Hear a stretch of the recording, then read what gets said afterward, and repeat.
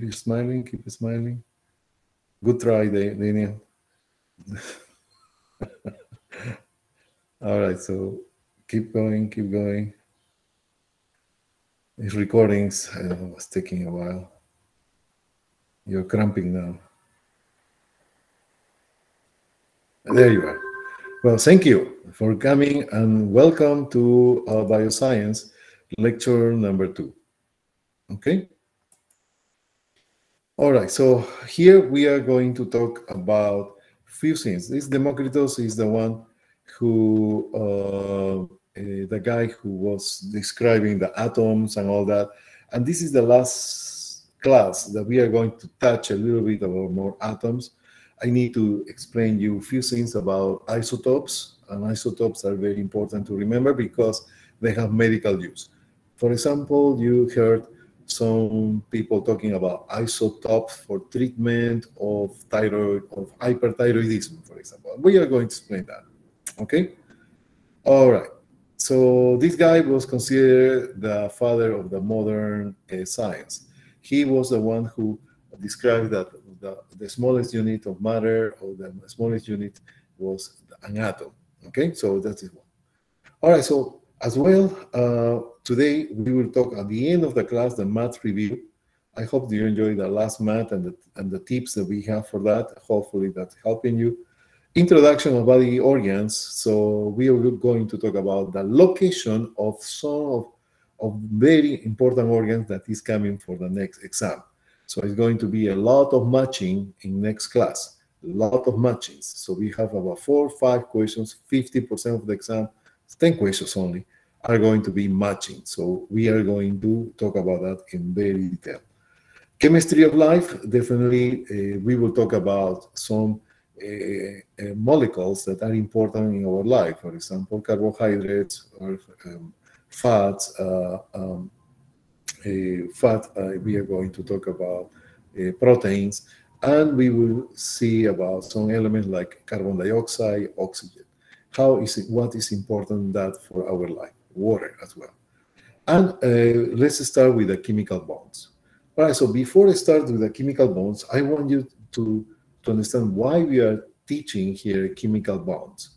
Chemical bonds are basically the reservoir of energy for our body. So that means that we are going to obtain the energy of the food, of the nutrients from the bonds of the between molecules or between atoms. Okay, so that energy that is stored there, we need to release that energy. How we need to release this energy? Because the body, what is doing is to break down bones, bones. So they are going to break it down bones. When you break down the bones, the energy is being released. But that energy is not used directly by the body. So that that energy, the energy released by the by by the nutrients are going to be needed in order to produce one important structure or molecule that is the ATP. Is the ATP? Where is my penta? Is the ATPs. ATP. So the food is going to release energy release energy, and that energy is going to be used to produce ATPs. ATPs. This is what we use as energy. This one, the energy released from the food is going to be needed in order to produce these ATPs. These ATPs, that is the adenosine triphosphate, uh, actually we are going to talk today, are actually the source of that uh, uh, the energy to produce these ATPs coming from the food. So we don't use directly the energy released for by the food. Right? And where is that energy? Is on the molecules. And which part of the molecules we have this energy? On the bonds. B-O-N-Ds. Okay, B, the bonds. Breaking these bonds are going to, uh, you need to remember the principle, the energy will not be uh, destroyed, but is going to be transformed this transformation of the released energy from cutting the bonds are going to be transformed into ATPs. You okay with that?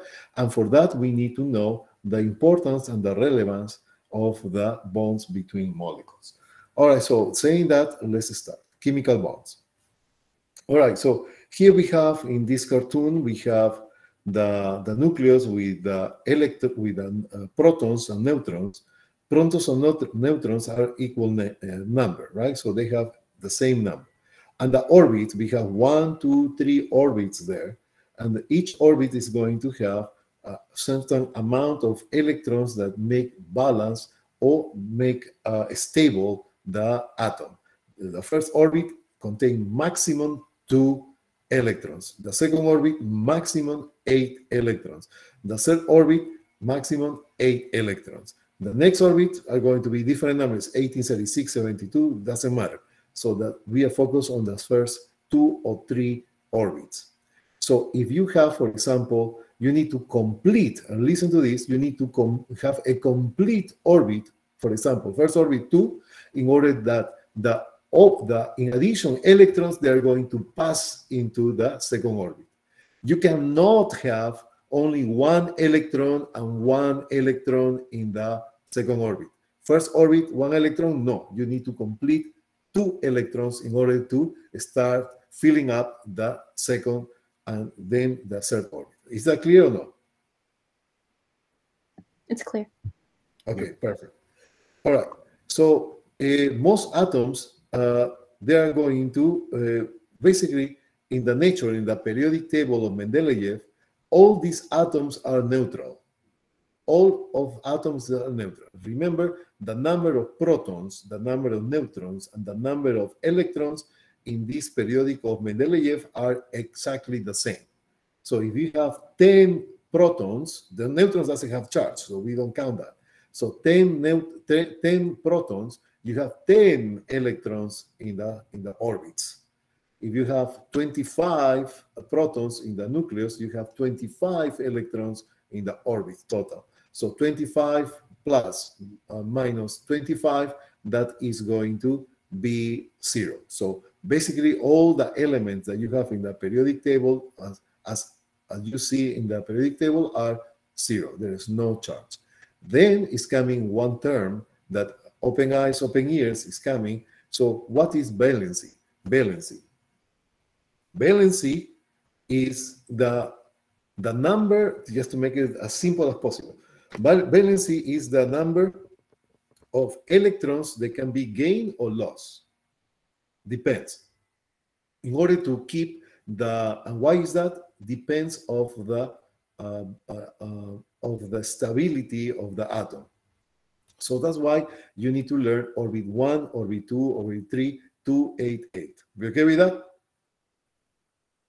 Yes. Okay. All right, so in nature, most atoms do not exist in the neutral form. And that is vital. That is why, why things exist in the world, in the universe. So because of this difference of charges, when they lose or gain electrons, are going to make charge with a positive or a negative charge. And you know that this positive and negative, they attract to each other. So saying that, that means that that is how the atoms in the universe are going to interact to each other to form other components. That is the reason why we exist. All things around you are because of these interactions. All right. So here we have the lithium, and the lithium is going to have, actually, lithium is lithium 3. 3 is what you see in the periodic table of Mendeleev. Do you need to memorize that? No, I'm not asking that.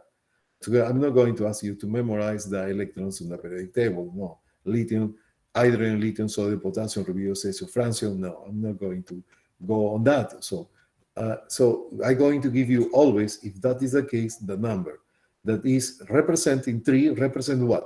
Three protons. But if I say three protons, that means that that lithium have as well three neutrons. And as well, they have three electrons. So if I can see, see three protons, you have three electrons as well. And this is the lithium. Lithium, we have the nucleus, we have three positive here in the nucleus, and we have three electrons on the orbit.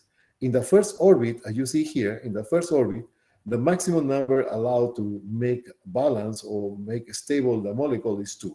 So that's why I have two in the first orbit. The remnants are going to be distributed on the next orbits. In this case, we have only three, so one electron will be uh, traveling in the second orbit, in the second orbit. So now, in order to make happy this atom, that is that is actually what is the periodic of Mendeleev, right? But in nature, this atom is not going to be there because this atom is not happy. They want to have a complete, a complete number of electrons in the orbits. So this one is going to get lost. So instead, uh, the molecules is more easier for the atom, sorry, it's more easy for the atom to lose this electron and you have a complete orbit here with the first orbit rather than gain seven more electrons. So what is easier? Easier is going to keep two electrons. And right now, uh, when you uh, get rid of this electron, you have three protons in the nucleus, and you have two electrons, minus two. So that is going to be plus one. So lithium are going to be charged plus one, or you can write it down like this, just one plus. And that is called a cation. Remember a cation? Cation. So when an element, an element, element lose or gain an electron, they will be charged with some electrical charge. So they are going to become an ion. An ion is an element who contain an electrical charge. This ion can be turned into cation, depends if they lose uh, they lose more electrons, or anion, or if they gain electrons, if that is the case. Okay, you okay with that? All right. Yes. Uh, let me. Sorry, it's a it's a coordinator. I mean, I need to stop this stop since. So I'm so sorry. I'm going to tell him that. I'm,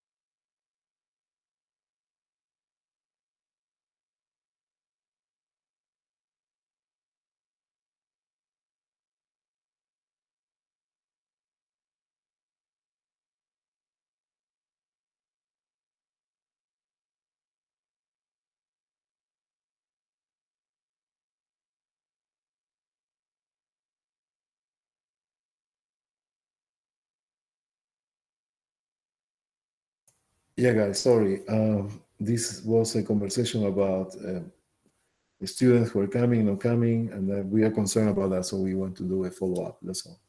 All right, so let's get this, let's get continued. Sorry for that. All right. All right, so fluoride, fluoride, fluoride. I think they have nine. It's not my, is is I'm not I'm not wrong. Fluoride is nine. Yes. See, fluoride, fluoride is nine. So what is example here? What they want to do here? Fluorine is nine. So we have here nine positive in the in the nucleus. We have minus two electrons in the first orbit we have minus 8 electrons in the second orbit, and we have minus 1 electron in the, sec in the third orbit. So you already know in order to make uh, uh, this stable, you need to have maximum 2 electrons. So we are okay with this first orbit. The second orbit already contains 8, so we are okay with that orbit. So here we have 1. In this orbit, we need to have 8 total, but we have only 1 electron. So what is going to be easier for this molecule? To gain or to gain seven more uh, electrons or to lose one electron? Lose one. Lose one. And what could be the overall charge of this?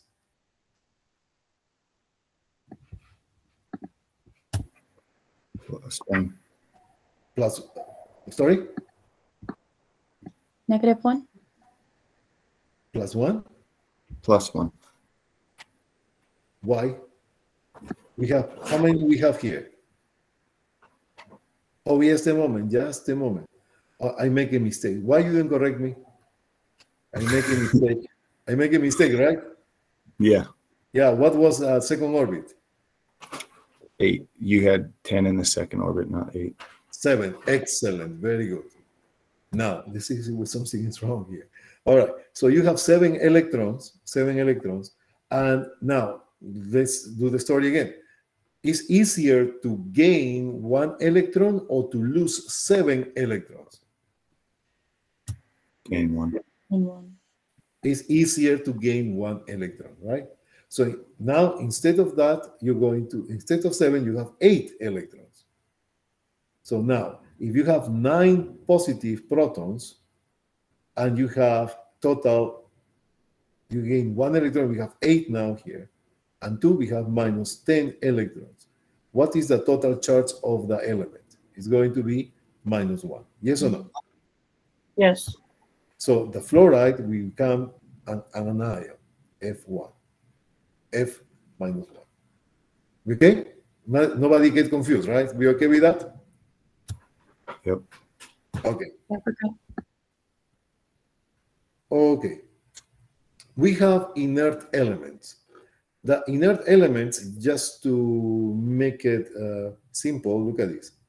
We have inert elements, we have helium, neon, argon, xenon, krypton, xenon, and radon.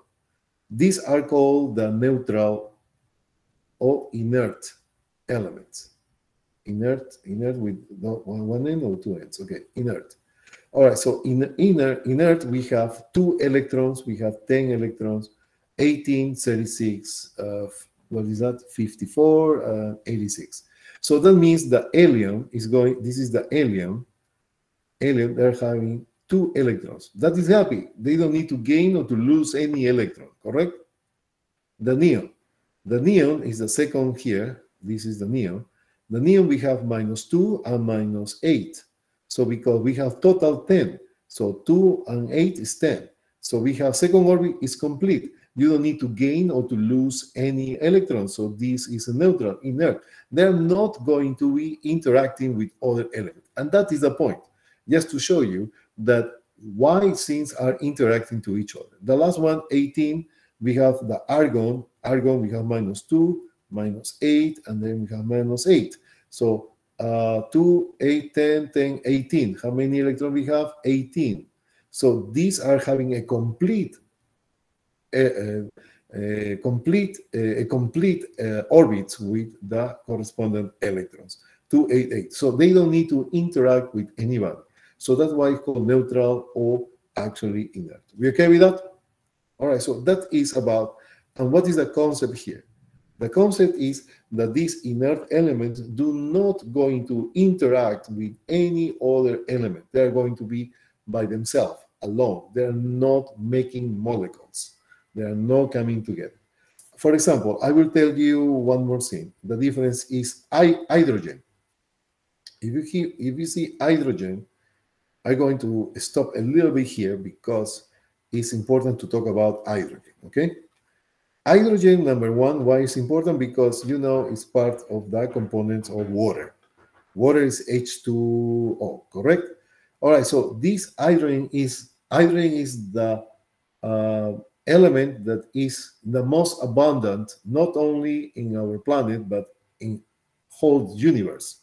So hydrogen is the most common element. So we have here an hydrogen, and the hydrogen we have plus one proton, correct? Right? Because one is one proton.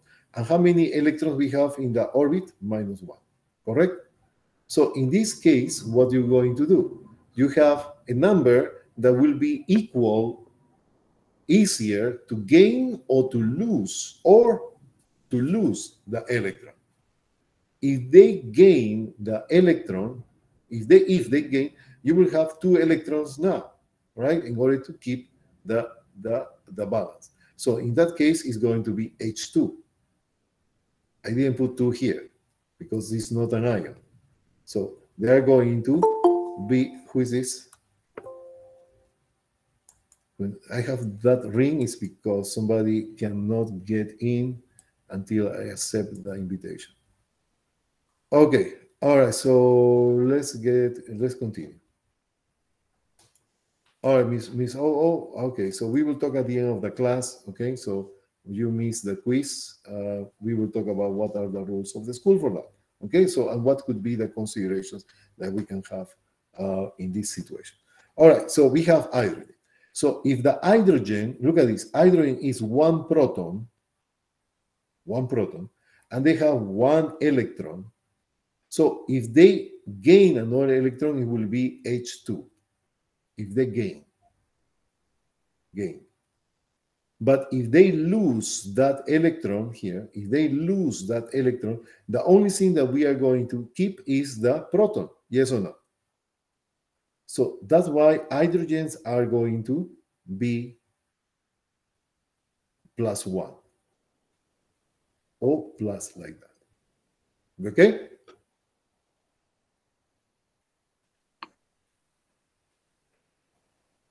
Please, everybody. Yes, sir. Absolutely. Okay, all right. So why I'm talking about this? Because I want just to, if you can write down this, please. Any element who is going to donate electrons, anything, any element who donate electrons or to or lose electrons, the more electron the, they're going to lose electrons, that is an acid. Acid, acid, acid. That will be acid. So hydrogens are going to be acid. Hydrogens are going to be acid. Oh my god, my nerves are okay. Okay. Uh, the the hydrogen become acid. And that is important. For example, you have in your stomach, you have this one, HCl. That is the chlorhydric acid. So acid because of the hydrogen. This is what you have in your gastric acid. Your gastric acid is very acid, pH 2. It's very acid. And who is giving that acidity is the hydrogen. Hydrogen. In your blood, you don't you cannot have too much hydrogens. You don't you you need to have some levels of hydrogen, but not too much. Because your blood can become acid and that can kill you, your can they can kill the patient. All right. So at this moment, what I want you to remember about the hydrogen, hydrogen positive, like this, plus one, is going to be acid. Okay? So it's going to become, look at this, it's going to become, if you have an H here, it's going to be acid. Okay? Yeah. Okay, perfect. All right, so let's keep moving. All news here. The all news is that valency is the number of electrons that an atom wants to gain or to lose in order to be happy. Okay, so basically you don't need to tell the atom is happy or not, right?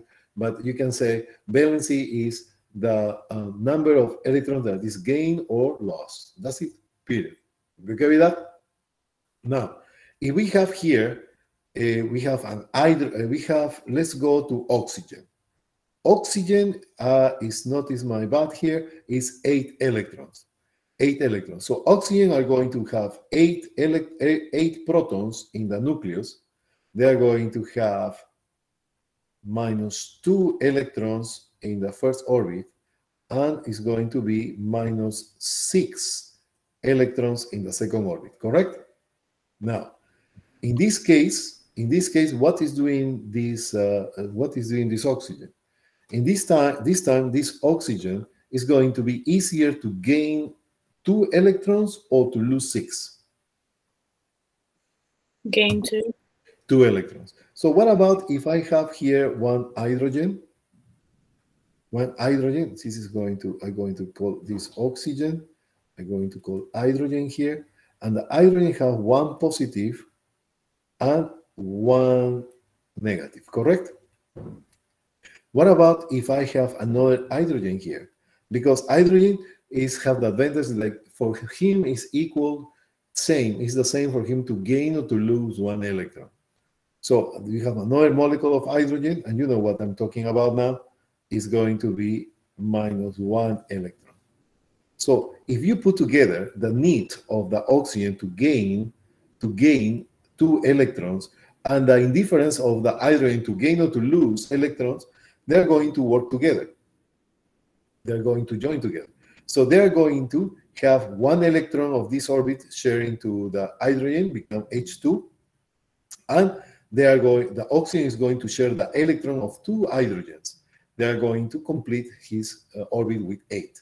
So at the end, what we have is water. All right? All right because if you uh, if you see here uh, that uh, that electron that uh, pro that oxygen are going to gain two electrons so we have here uh, plus eight uh, minus eight minus eight that is actually no sorry minus two why is that because when after they gain two electrons in the in the in the second orbit we have eight eight and 2 minus 10, minus 10, minus 10. Plus 8 is going to be minus 2. So that is the charge of the oxygen. And the hydrogen are going to basically gain an electron and the hydrogen become uh, actually negative. And negative. Uh, sorry, uh, yeah. And they are going to be attracted by the oxygen in order to complete the molecule H2O.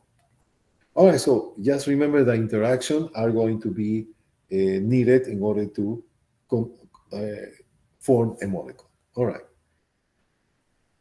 Open eyes, open ears, please. When I say open eyes, open ears, you already know what I'm talking about, right? So open eyes, open ears is the classification of the molecules. The classification of the molecules are going to be classified as a simple or basic molecules. Simple or basic molecules and the other one is compound molecules. Very simple. So simple or basic molecules are molecules. You know what is a molecule? Is the uh, is the interaction of two or more atoms. Is the interaction of two or more atoms. Two. So to form one molecule, at least you need to have two atoms, or you can have more. So be, uh, saying that if the elements that are coming interacting to each other are the same, that is going to be actually called a simple or basic molecule. For example, we have this H2. This is a gas. This is a simple molecule. Another is actually we have oxygen. That is a simple uh, simple uh, molecule. And nitrogen is a simple molecule. Is uh, the helium, the neon, the uh, xenon, the uh, radon. all these guys that actually are going to uh, be the same molecule. For example, uh, neon is going to be two. Neon. Radon is going to be two. Why? Because they are going to be uh, no, no, they are not. Uh, they are together. So forget about. Sorry for that. Just stay with this, because the gas inert is only one atom. They are not interacting to each other because they are already complete. Okay. So H2, uh, and these are components of air.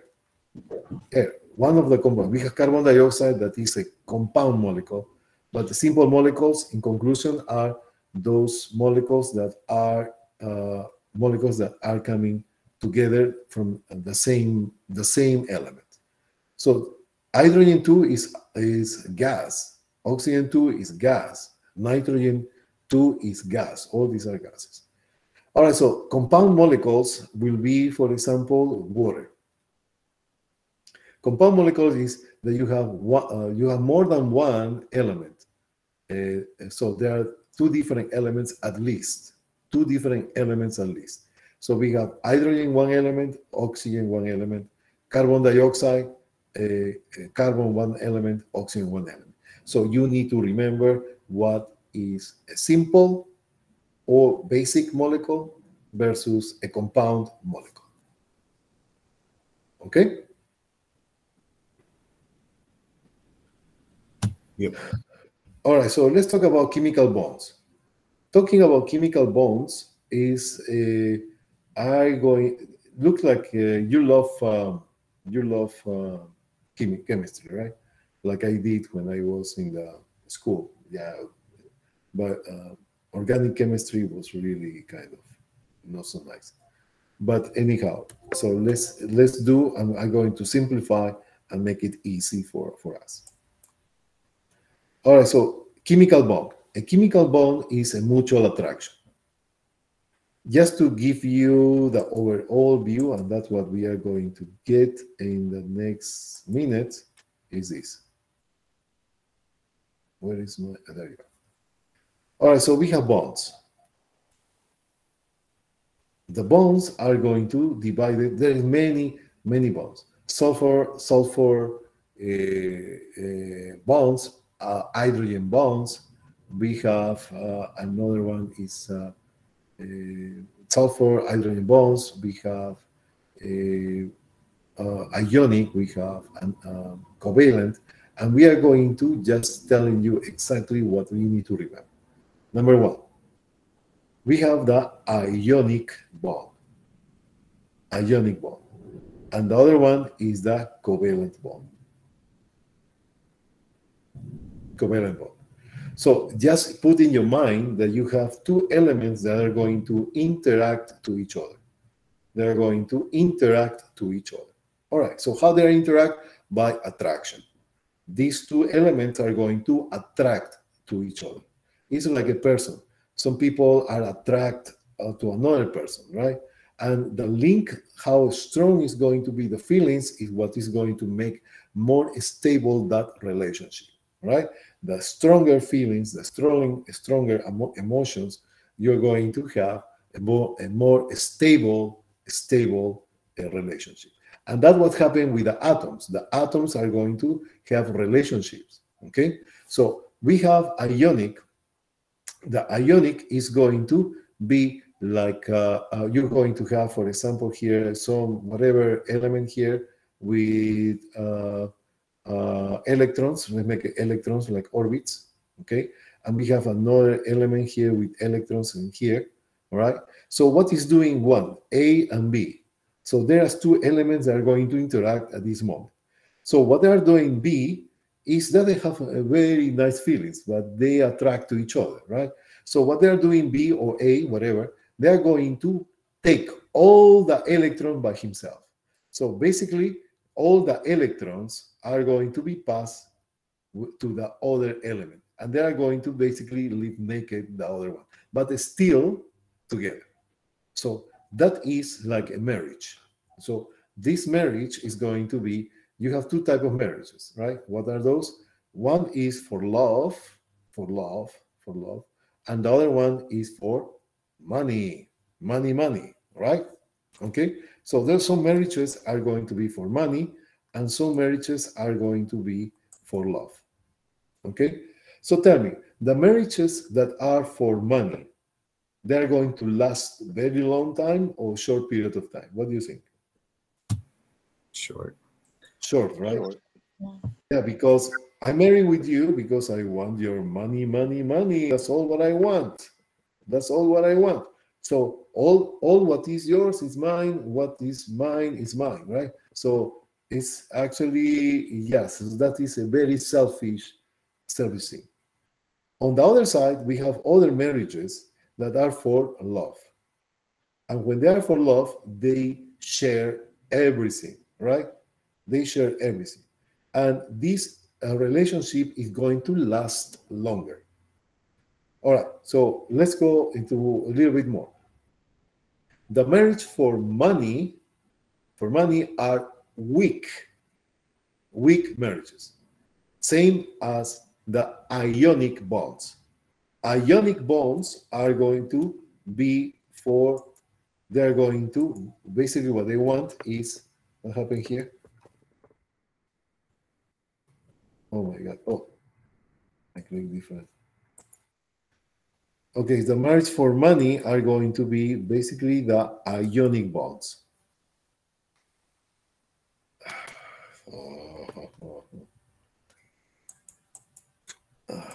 Okay.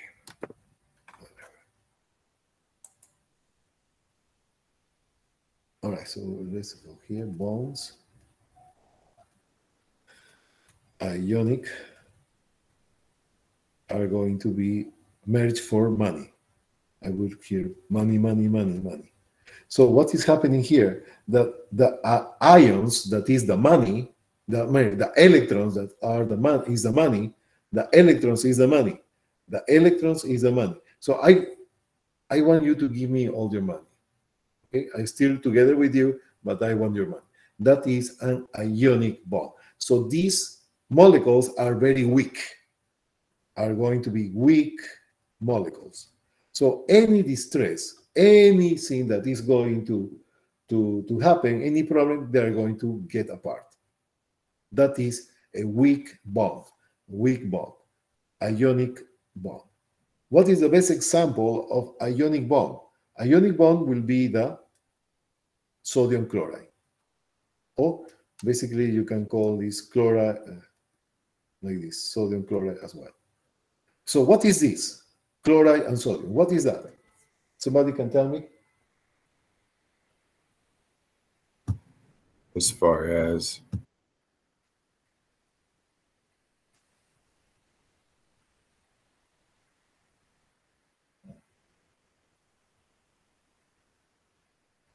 What is this?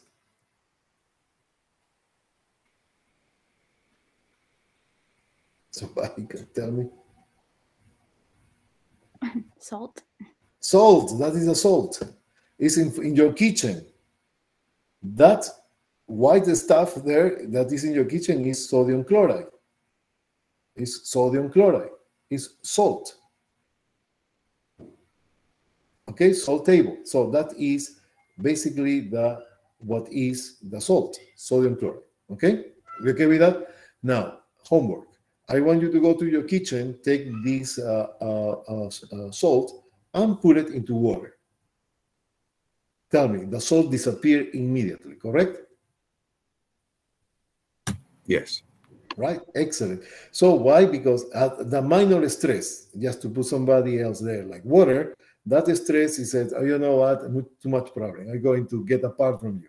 And the sodium and chloride are going to separate, divorce. Okay, all right, excellent. Then we have the other bonds are going to be the covalent bonds. These covalent bonds are going to be for love, right? For love. Let's make it love here. A lot of hearts here.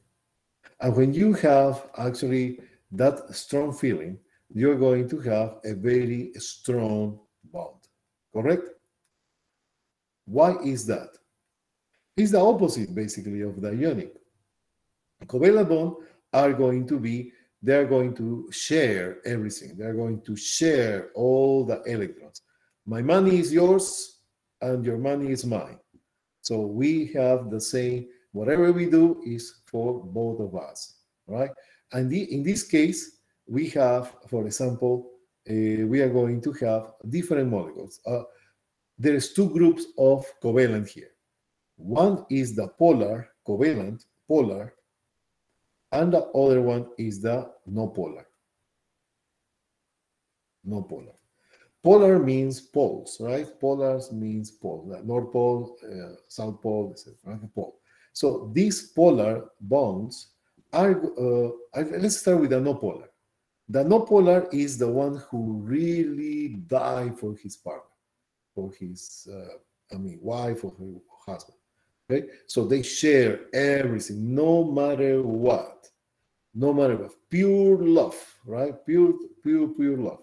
So this relationship is very strong, very, very strong. And what we have here as molecule are going to be a molecule that is basically something like this. No, sorry. Uh, and many more.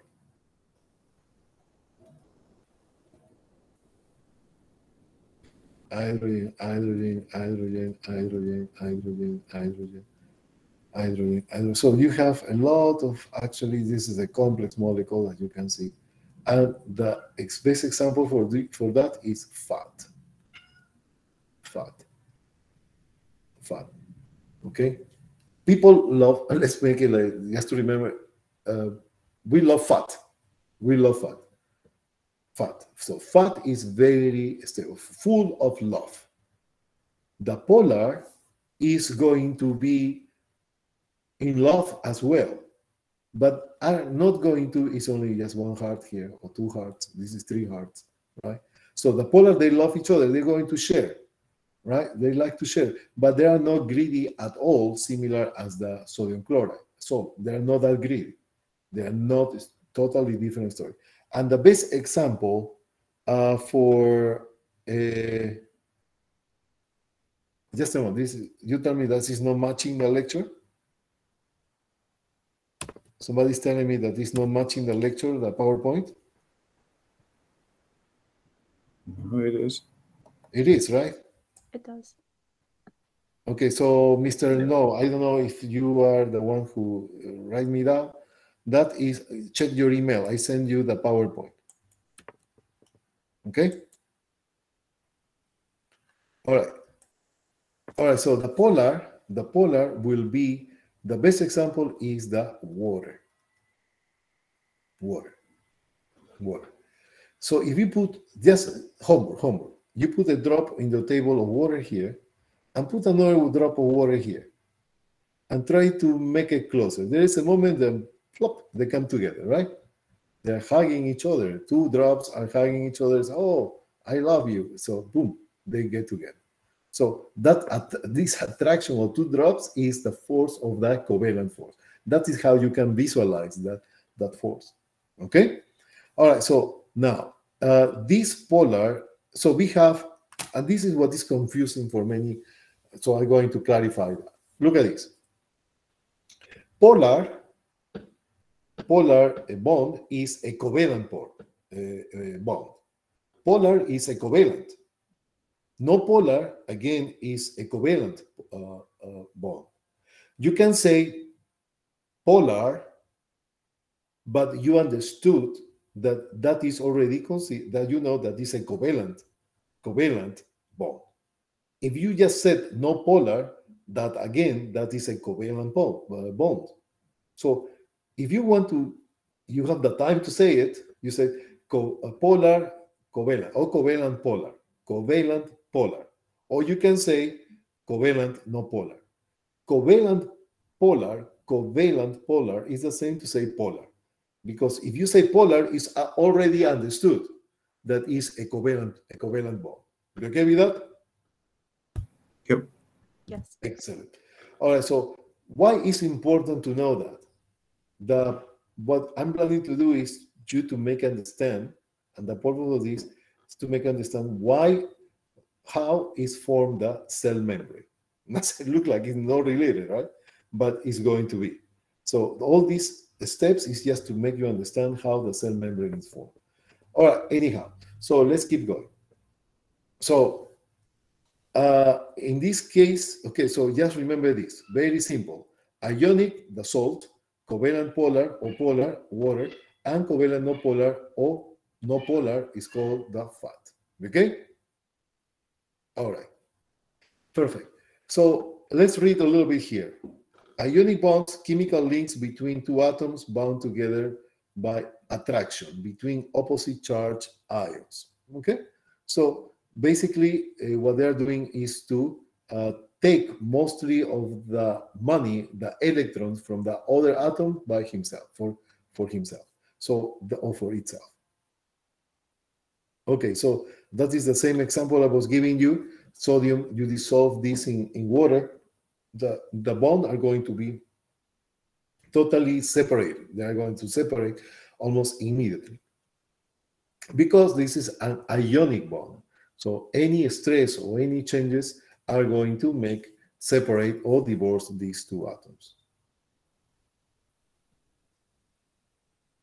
Okay. All right, so that is the hydrogen. If you remember here, they share they share this uh, this hydrogen, and they are going to basically they are going. This is a covalent covalent bond. All right, so we have here ionic bonds, ionic, the sodium chloride, sodium chloride. We have a weaker bond, like marriage for money, based on one atom given or another receiving all the electrons or the most of the electrons, one atom becomes a cation and the other is an anion. Plus, plus and minus are attracted to each other. All right, so not very good strong bonds, atoms dissociated from each other, dissolve easily. That is the example of sodium chloride. I don't use the hydrogen fluoride because we don't use that often. A strong bond, covalent bonds, you know, we have polar and no polar, right? So this, in this slide doesn't differentiate them, but you must know that for a few reasons. So uh, as, as, a reason why I make the division of polar and no polar. Okay. All right, so the same thing here. All right, so here we have, uh, all right, so we can go over you have this review. What is the answer of this? Moment. Let me see. Yeah, it's on. It's no one space. On. Okay, let's see. All right, so let's read. When two atoms from uh, form a molecular molecular bond, is like two people forming a couple, and couples interact from each other. Oh, it's a, no, it's not a question. Okay, one couple may like another couple and wants to hang out with them all the time, or dislike them, or try to avoid them as much as possible or sometimes just being indifferent towards the other couple. All right, so molecules are the same. So molecules, like other molecules, are want to hang out with each other. Uh, other molecules dislike them. Other molecules just don't care. All depends on the type of molecules. Okay, I was thinking it was a question, but this is the same thing that we was talking. I just read what is explaining the same way. All right, so let's go into the cell membrane. Okay, this is very simple. But this is the continuation of the previous statement that we was talking. So we are going to link what is the consideration between each other to make us understand how is going to be the cell membrane made. And you know why we need to know that this is no biology, this is biology or high school. No, you need to you need to remember that because there is some substances, some hormones, or some uh, vitamins or minerals they, they can pass easily or difficult through the cell membrane because you need to understand how they are going to attract fat, how they are going to attract water. So, and for that, we need to talk about the cell membrane. For example, the vitamin A, D, E, and K, they can pass easily the cell membrane. But the vitamin A and the vitamin, uh, sorry, the vitamin C, the vitamin C, and some vitamin B cannot pass the cell membrane for a reason. What reasons are those? For the bonds. We are going to talk about covalent and uh, no polar and polar uh, uh, molecules, and that is going to help or to make it easy or difficult to pass to the cell membrane. All right, so that is basically what I want to go. Now, let's talk about the cell membrane. The cell membrane is going to be formed by a bilayer, bilayer, bilayer of molecules. So what's strange, right? They are going to organize in two layers. So if you see here, this is the cell membrane. The cell membrane, one layer is all this. This is one layer. And the second layer is the this one here. These layers are going to be the double layer membrane or bilayer, uh, bilayer uh, membrane. So we call bilayer membrane, okay, or double layer membrane, double layer membrane of the cell membrane. Okay, it's the same. All right, perfect. So now, if you see here, each layer is composed, each layer, this, for example, let's talk about this layer.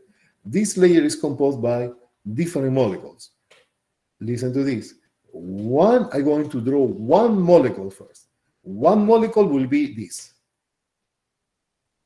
And these tails. So we have like a head and tail. This is one molecule. This is another molecule. This is another molecule. And another molecule. And another molecule. And another molecule. And another molecule. Same here. Strange, right? Upside down. So we have here another molecule here, another molecule here, another molecule, another molecule. So the molecule is composed by this. This is a molecule. So now, what are these components of these molecules? So you know atoms are going to come together to form molecules. And molecules, they can come together as well to create a, a bigger, a bigger molecule. So for this, we have this head, is called the head, and these are the tails in plural. We have two tails, right? You see two tails, one tail and one tail. So this head is formed by phosphorus. Phosphorus. Phosphorus, called P, phosphorus. And the tails, each tail, this tail, you see here, just what I mark, is a fatty acid fatty acid, fat in other words, fatty acid. How many of these fatty acids we have? One and two fatty acids. So in conclusion, each molecule is actually composed by one phosphorus and two fatty acids. That molecule is going to be called the phosphor, phosphor because phosphorus, lipids phospholipids, okay, or phospholipid. Phospholipid is phospholipids is is one, two, or more molecules. Phospholipid is only one of these. The phosphorus and the two tails of fatty acids. You okay with that? You follow me? Be all right? Yep. Yeah. Yes. Okay. All right. So now, tell me one thing uh, when you you do your salad, when you want to do your salad, your salad basically you can put uh, olive oil, that is oil, and you put some vinegar, right? Vinegar. Vinegar, that is one. Vinegar, we are going to make another experiment. Instead of vinegar, we are going to use water to make it more evident, okay? More evident. So you have water and you have oil. The oil can be mixed with water? Yes or no? No. No. No, right? Why? Even though when you do your salad, for example, vinegar and water have the same same uh, properties, similar properties. You don't drink water, you don't drink vinegar vinegar for water, right? But they have the same, uh, I would say, chem chemical uh, properties or same chemical uh, charges, etc. Okay. So, for example, you you have your salad, you put your oil and you put the vinegar, and then you shake it out the or move the oil with the with the vinegar. And the vinegar, if you don't eat the salad for a while, the vinegar is going to get separate from the fat, right? So that's why you need to eat it right now on the uh, on the spot after you cook the salad. Same thing happened with the water. The water you can put it with oil, you shake it out, and they are going to be basically uh, mix. But after a while, they separate each other because they don't like each other. They don't like water cannot mix with water because the water and uh, they repel the the fat and the fat repel the water. So I don't I don't like you. So go away. So that is what is doing the fat and water. But tell me one thing. Can you mix water and water? Yes. Yeah. And this equal more water and water, they get separate after that? The answer is no. They're going to still together, right? They don't separate. Now, on the other hand, you have oil. These oil are going to, when you mix, for example, olive oil or canola oil, they get apart. They or you have sesame oil, truffle oil, whatever oils. You mix oil, oil, and oil, and you wait like whatever you want to wait, and they're going to make they're going to separate each other. Yes or no? No. No, right? So oil are going to mix permanently with oil. So that means oil love oil and water love water. But water do not like fat and fat do not like water. Okay? You follow me? All right. So now we have here that the head phosphorus like water. They like water. So this is phosphorus are going to be called hydro. Hydro means water. Philic. Hydrophilic. Hydrophilic. Hydro means water. Philic is a Latin word that said attraction, to want and to accept. Okay, hydro, hydrophilic.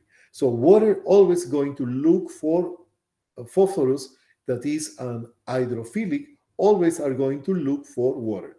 Water, where are you? Okay, I want to go with you. I want to go with you. That is what is doing the phosphorus. Meantime, the tails, that are the fatty acids, they don't like the water. They like fat. So that is going to be called hydrophobic. So phobic means when you are afraid or go away from something. All right. So is that clear? So remember the water and the and the and the fat that I explained. The fat is hydrophobic. So they repel, they want to go away from the water. And hydrophilic, I love water. Water, hydrophilic. All right. Who is the who is the hydrophilic portion of the cell membrane? Is going to be the, the head of the phospholipid. This molecule is called phospholipid, phosphorus and lipid. So this portion are going to be hydrophilic. All these heads are going to be hydrophilic. And this head, again, is going to be hydrophilic. And these tails are going to be hydrophobic, away from the water. You okay with that? Yes. Yeah. Okay, so now, why is coming upside down to each other? Why they are going to be uh, why they are going to be this configuration? Very simple. That this configuration is going. You have a cell membrane here. This is a cell membrane, the cell membrane with the nucleus, etc. And this take a piece of this cell membrane. This is what is representing here. All this. Okay. All right. So for this, what I want you to remember is that whatever, mostly what we have outside, outside the cell is a lot of concentration of water. And the inside the cell are going to be a lot of concentration of water as well. a lot of water as well. So we have a lot of water. This is out.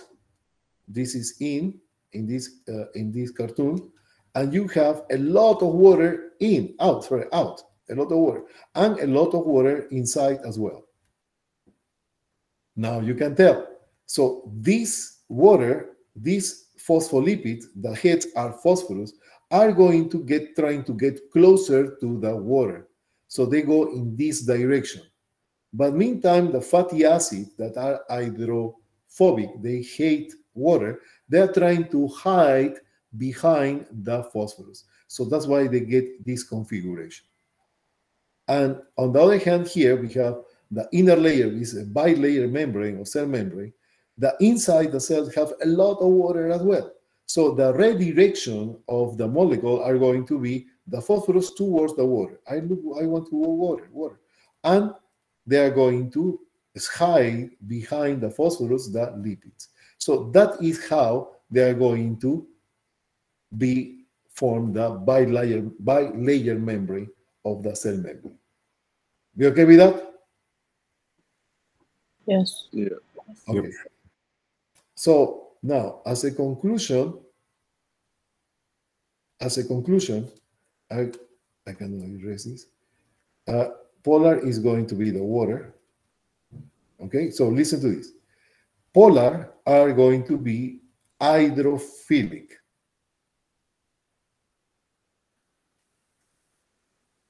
This ionic is hydrophilic as well.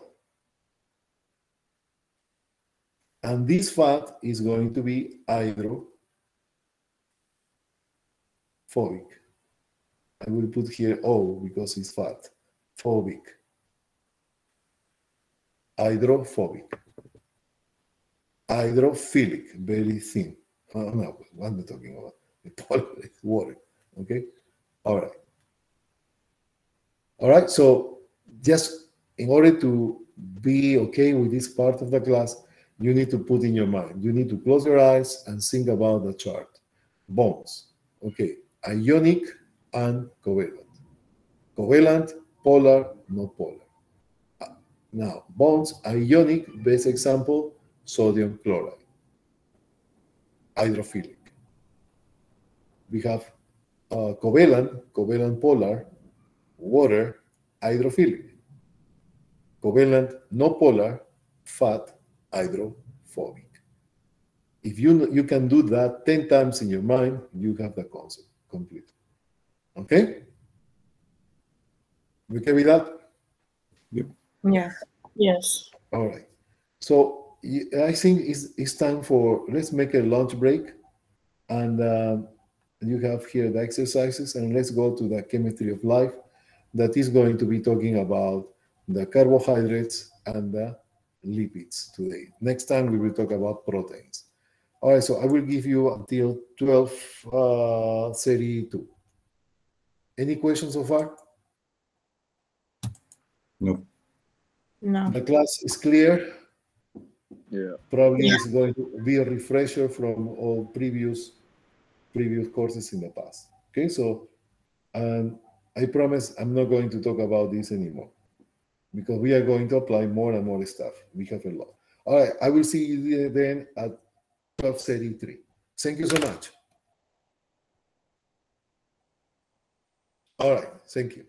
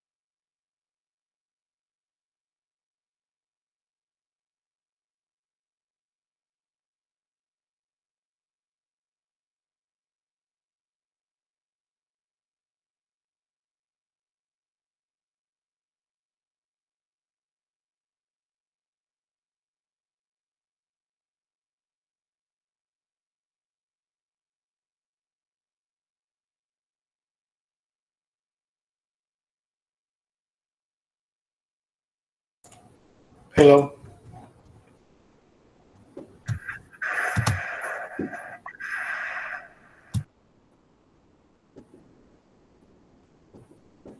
All right, so let's continue with the class.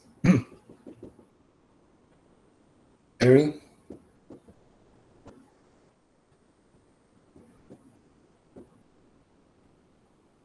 The good news is that we are not going to talk about, uh, uh, I mean, atoms and covalent. Well, we are not going to talk covalent, yes, but uh, not about uh, orbits and all that. So that is past. All right, so let's continue with our lecture. Miss Erin, please don't miss it.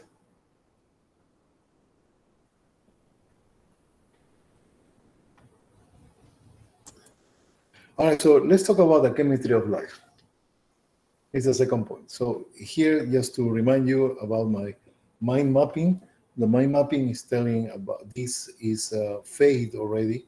So we already talked about that. The yellow, always what is coming. And the white, what is what we are in, in yellow is what is we are going to talk right now, and in white is what is coming later. All right, so let's talk about the chemistry of life. So uh, first of all, we need to talk about biochemistry. Okay, biochemistry is this is very simple. Huh? Is the reaction that occur in your body. Yes, these all chemical reactions that happen in your body are going to be uh, happening in the uh, those chemical reactions that happen inside your body. So, what is a chemical reaction? A chemical reaction will be, for example, a substance A plus substance B that is going to produce a substance C. So A, one substance, B, another substance, and the product of this reaction are going to be called, is going to call C. All right, so these chemical reactions, chemical reactions, react, chemical reaction means the combination. They're going to share electrons, they're going to get rid of some atoms, and the result of this product is going to be a chemical reaction. Remember, any chemical reaction that happens in your body is studied by the biochemistry. Bio life chemistry is chemistry, the chemistry of life. Biochemistry. Okay? All right, so now uh, tell me one thing. Uh, when you have a chemical reaction, uh, all these chemical reactions, A plus B, are going to have a helper. Is going to have a helper. This helper, what is going to do is to accelerate the chemical reaction. Somebody tell me what we are talking about right now? Somebody have idea what we are talking about? Okay, so we have A plus B are going to react, but these reactions are going to be by, uh, uh, helped by one another substance. What is this substance? This substance is called an enzyme. Enzyme. You heard about enzymes before, right? All right, so these enzymes are going to accelerate the chemical reaction. You want proof of that? I will give you a proof of that. Tell me one thing when you are weak, you are low on sugar. When you have low on sugar, you take sugar, right? So to boost your energy, how long you need to wait for that? You start to feel the boost, right? Few moments, right?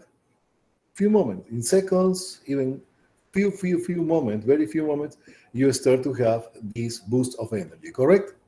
And why is that? because chemical reactions are going to happen very fast.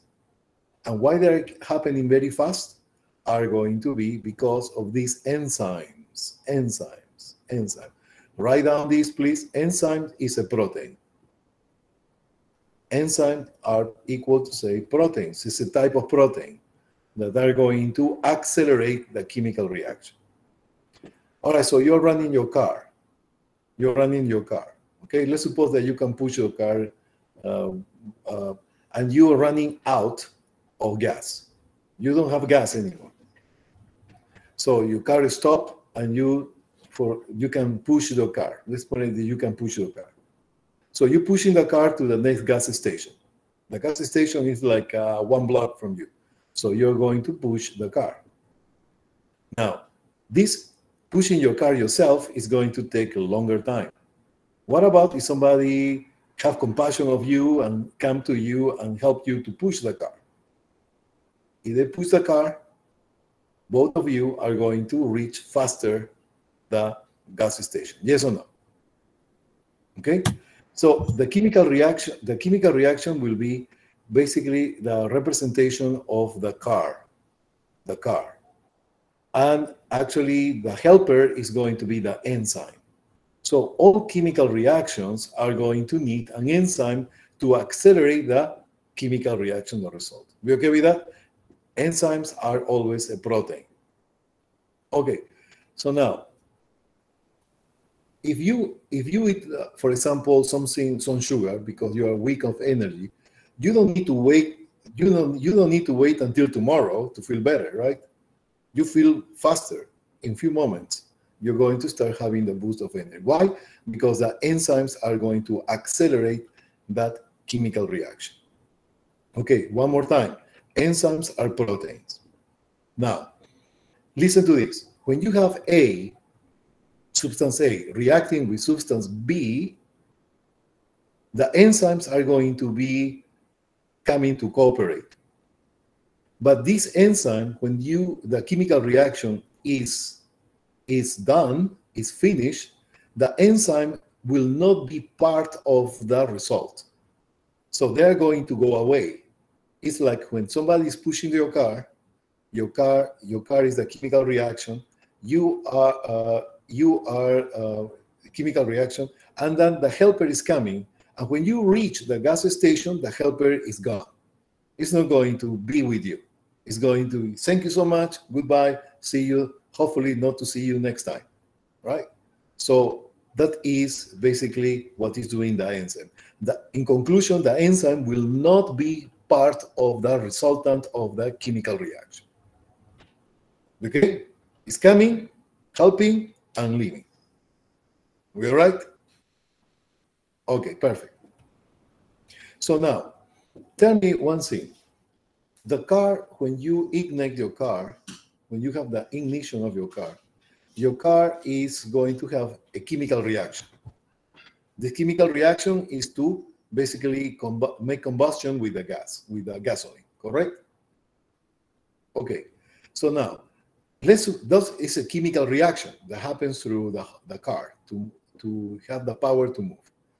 After a few minutes you stop the car and you touch the engine with your hand. You feel some heat correct? It's warm. So that means that the whole energy that is being provided by gas the, is going to be used for to move the car but some of this energy is going to be dissipating. And that is going to dissipate in the form of heat, warm. Now, I want you to touch your hand. And when you touch your hand, tell me, your hand is cold as a stone? No, right? Your body is warm or is cold? Cold like ice? Warm, warm right? No, warm. Where do you think is coming that heat? Chemical reactions. Called, uh, chemical reactions. There you are. Chemical reactions are going to be like a gas and a car. The car is going to be part of that energy to move the car, and the other part will be dissipated as heat.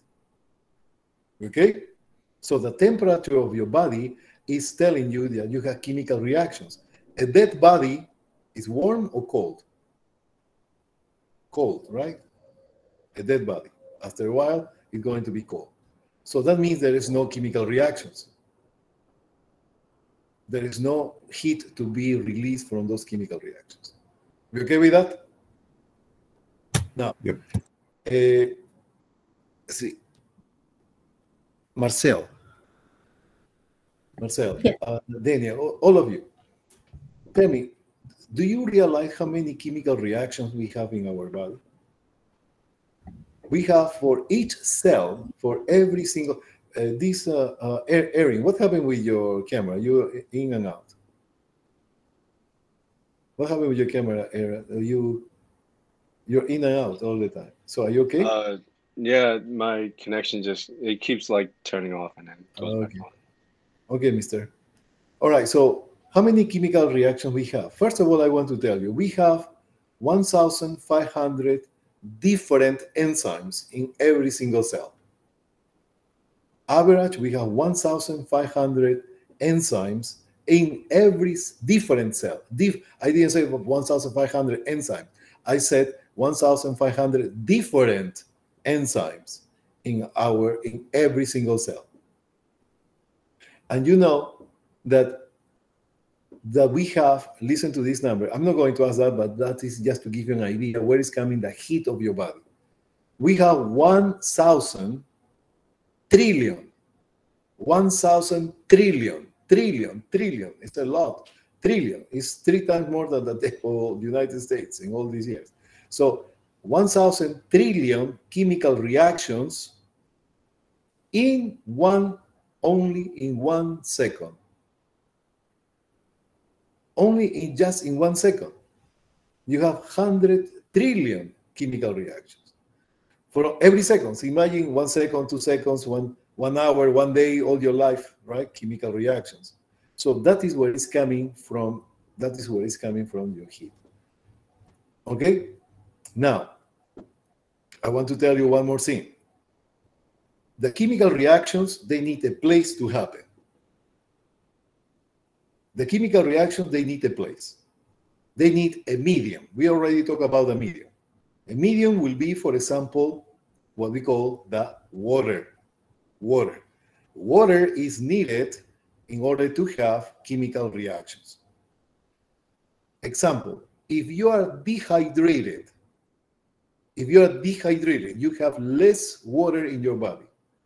Your, your body starts to tend to be cold when you are dehydrated. And that is because there is no enough medium, means water, to happen those chemical reactions. That's why that's why we need water. So now you need to remember that. We need water in order to give the medium for all chemical reactions to happen. So when you are dehydrated, those chemical reactions are not going to have happen in full. So you start to have low levels of temperature. Interesting, right? Okay, so let's keep moving. So it's important to be a person that is hydrated very well. So one of the things that you as a nurse, you need to identify if the patient is dehydrated. Having a proper and uh, uh, uh, according up a heat hydration of the patient, that is going to facilitate the chemical reactions to happen. So dehydration is a very bad thing. Okay, all right, so let's keep moving. So what is biochemistry? Is the study of the uh, chemical reactions in your body. All right, so we are going to differentiate now between what is organic versus inorganic molecules. Inorganic molecules and organic molecules some inorganic molecules can be in uh, actually in our body too, but organic as well, right? What is anorganic and what is, I'm going back and forward, is organic versus inorganic molecules. Organic molecules, organic molecules, listen to this, the definition is there. Molecules that have one molecule, molecules composed by, uh, by two at least atoms, right? Molecules that have at least one carbon carbon, carbon, and uh, carbon in the doesn't matter in the center, or whatever, one carbon surrounded or with one hydrogen. So the the the precise thing is this: a molecule who contains at least one carbon and one hydrogen, that is an organic molecule. You okay with that? All right, so that is important open eyes, open ears. I'm telling you. Then inorganic are going to be everything else. Okay, a, a quick, uh, a, a, a quick answer from you guys.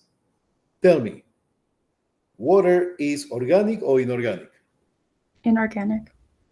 Inorganic. See, there is many students making me say, "Oh, water. Oh, water is important. Okay, organic." No, no, no, no, no.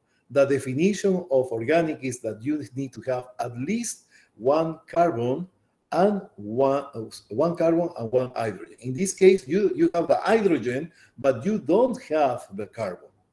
So that water becomes an inorganic uh, molecule. Now you exhale, you exhale, you exhale air. When you exhale air, you are actually eliminating carbon dioxide. Carbon dioxide. This carbon dioxide is organic or inorganic? Organic. Inorganic. Inorganic. Inorganic, right? Carbon dioxide is inorganic. Why? Because they have one carbon, but they don't have the hydrogen. So that is what is turned the carbon dioxide into inorganic molecule. So you need to have, again, what is organic? Organic is when you have at least one carbon plus, plus, plus one, one, one hydrogen. Is that clear or no? Okay? All right, so alcohol, for example, eh, alcohol, for now on, you're going to write it down like this. Ethyl alcohol, okay, ethylic acid. Ethyl, ethylic acid, etol, etol, etol, or whatever, etol, that is when you, when we are going in nursing and medicine, when we said alcohol, we don't write down alcohol. Etol, etol It's faster, okay? So alcohol, they have one carbon here, and we have one hydrogen here, or any hydrogen. So at least they have one hydrogen, at least one hydrogen, at least one carbon, that is organic. Okay? Carboxylic acid, the acetic acid, this is the vinegar, are going to be carbon here, we have hydrogen here, or hydrogen here. So at least they have one carbon, one is organic. Aldehyde, that is basically the, the sprays that make it smell, lavender, all that, those are aldehyde. And we in the body produce aldehyde too because of the metabolism of fats and sometimes of proteins. We will see that. We have carbon and hydrogen. So if you see here ether, that is an anesthetic, or ether is an anesthetic, uh, uh, I mean, inhale, that is going to be one carbon hydrogen. Ester, ketones, amines, amine, uh, uh, amide. Uh, do I going to ask all this? No, I'm not going to ask that, of course. The concept here for these two slides is to know what is the difference between organic and inorganic. Is that clear? Yes. Yeah. Excellent.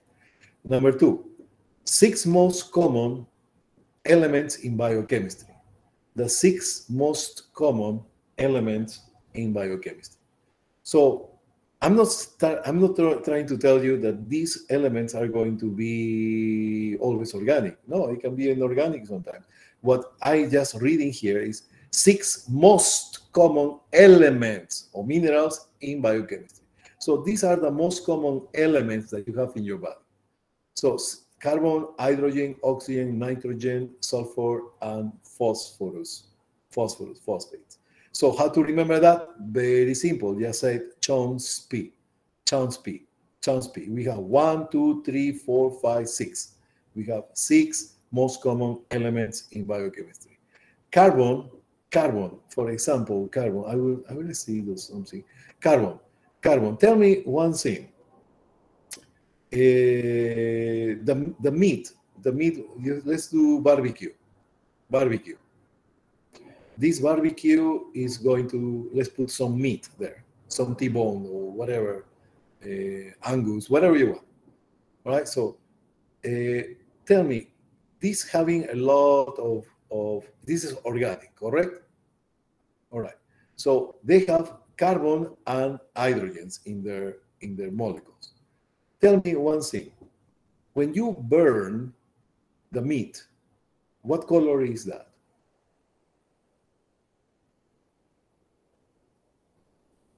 Black. Black, right? Dark black, correct? And what is basically that dark black? What is the content of that? The carbon? Excellent. Charcoal. Yeah, that is a charcoal.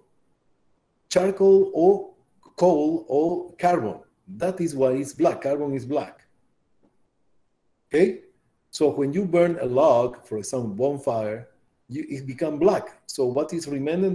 That is the charcoal, is a coal. C-O-A-L, carbon.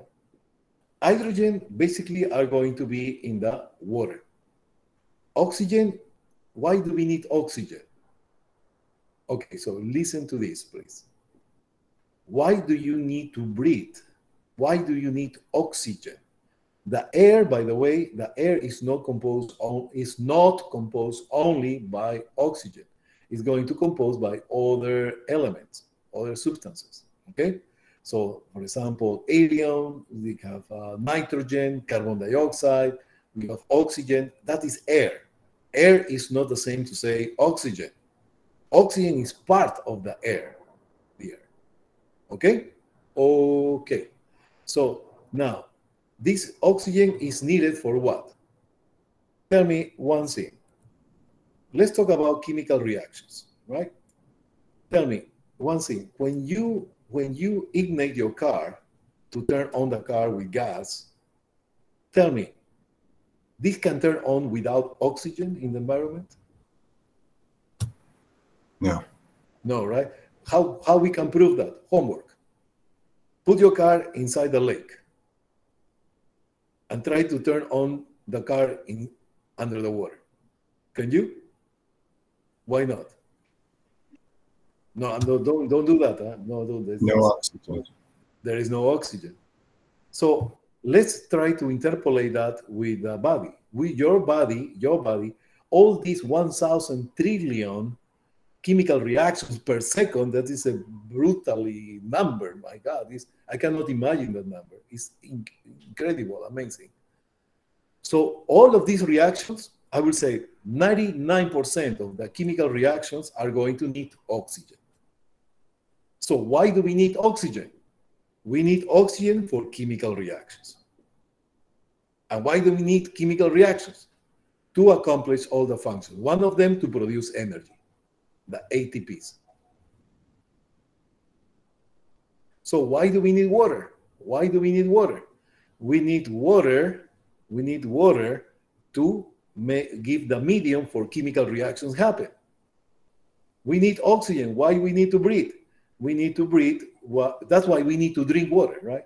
Why do you need to breathe? Because you provide oxygen for those chemical reactions that they need oxygen. 99% of chemical reactions in the body need oxygen.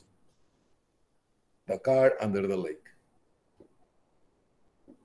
Okay? Why do we need to eat? Why do we need to eat?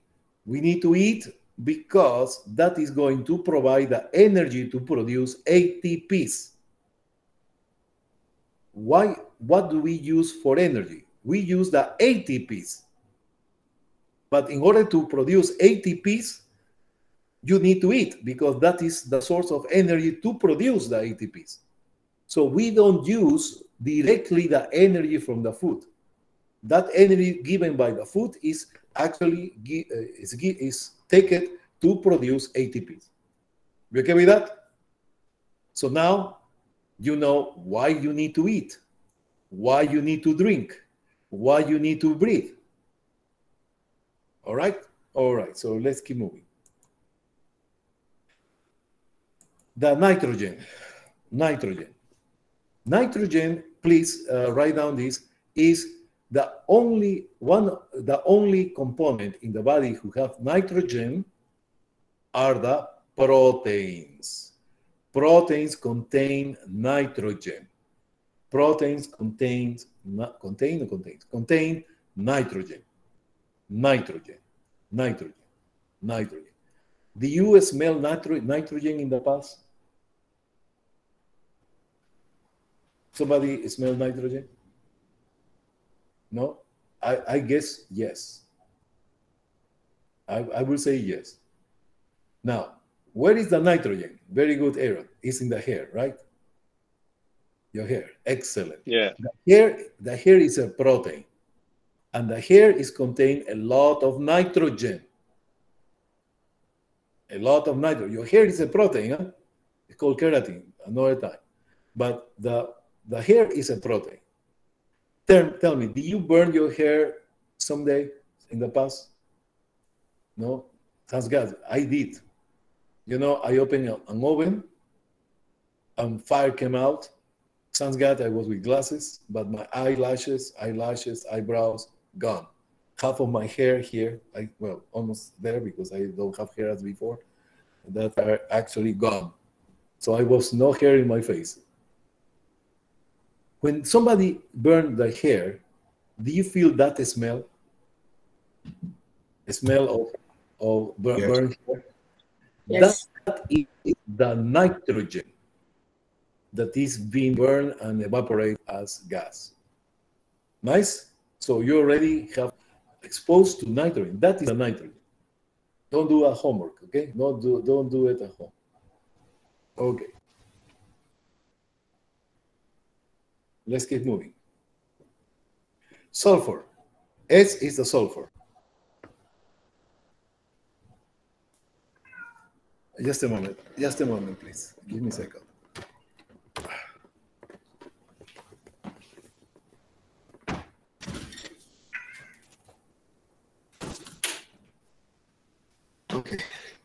Sulfur. Where is the sulfur?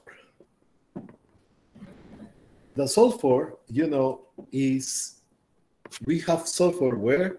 In our DNA. DNA. The DNA is going to be having a lot of bonds of sulfur. So basically, it's like a, glue here. Sulfur is going to glue it some uh, some components of the of the DNA. So DNA we have sulfur there. Just to what is coming later, I will tell you. If uh, if for some magic magic procedure, you take one cell and you go to the nucleus and you pull like a nylon, like a thread, the DNA, and if you want to stretch out the DNA, that DNA is going to measure six feet long. Can you imagine that? Six feet long, only one DNA in one cell. And we have 100 trillion cells in our body. Huge, right? It's, it's amazing. And that is all these DNA containing sulfur in their bonds. Phosphorus, the P, the next one. Phosphorus is part of the ATPs. ATPs. Phosphorus is actually in the ATPs. What is ATP? Uh, ATP is the adenosine, and I start to write down. You sooner or later you need to know this. Triphosphate. Yes. So that is the energy that you use. Adenosine A, T as a tri, three, we have three, three what? Three phosphates, three phosphorus. So that is the ATP. ATP, one phosphorus, one phosphorus, and another phosphorus. So it's going to be ATP, three Okay. phosphate. Okay? All right, so we are Dr. G, doing- What is Yes. what does A stand for? ATP, Yes. triphosphate. What does A stand for? you mean S, the S? ATP, right? You you said Uh, uh, ATP, ATP, adenosine triphosphate. And what you're asking? ADP? yes, yes. Oh, okay. Okay, I'm going to be a little bit ahead, but I will tell you now. You're asking, I answer. ADP is the Yes. adenosine.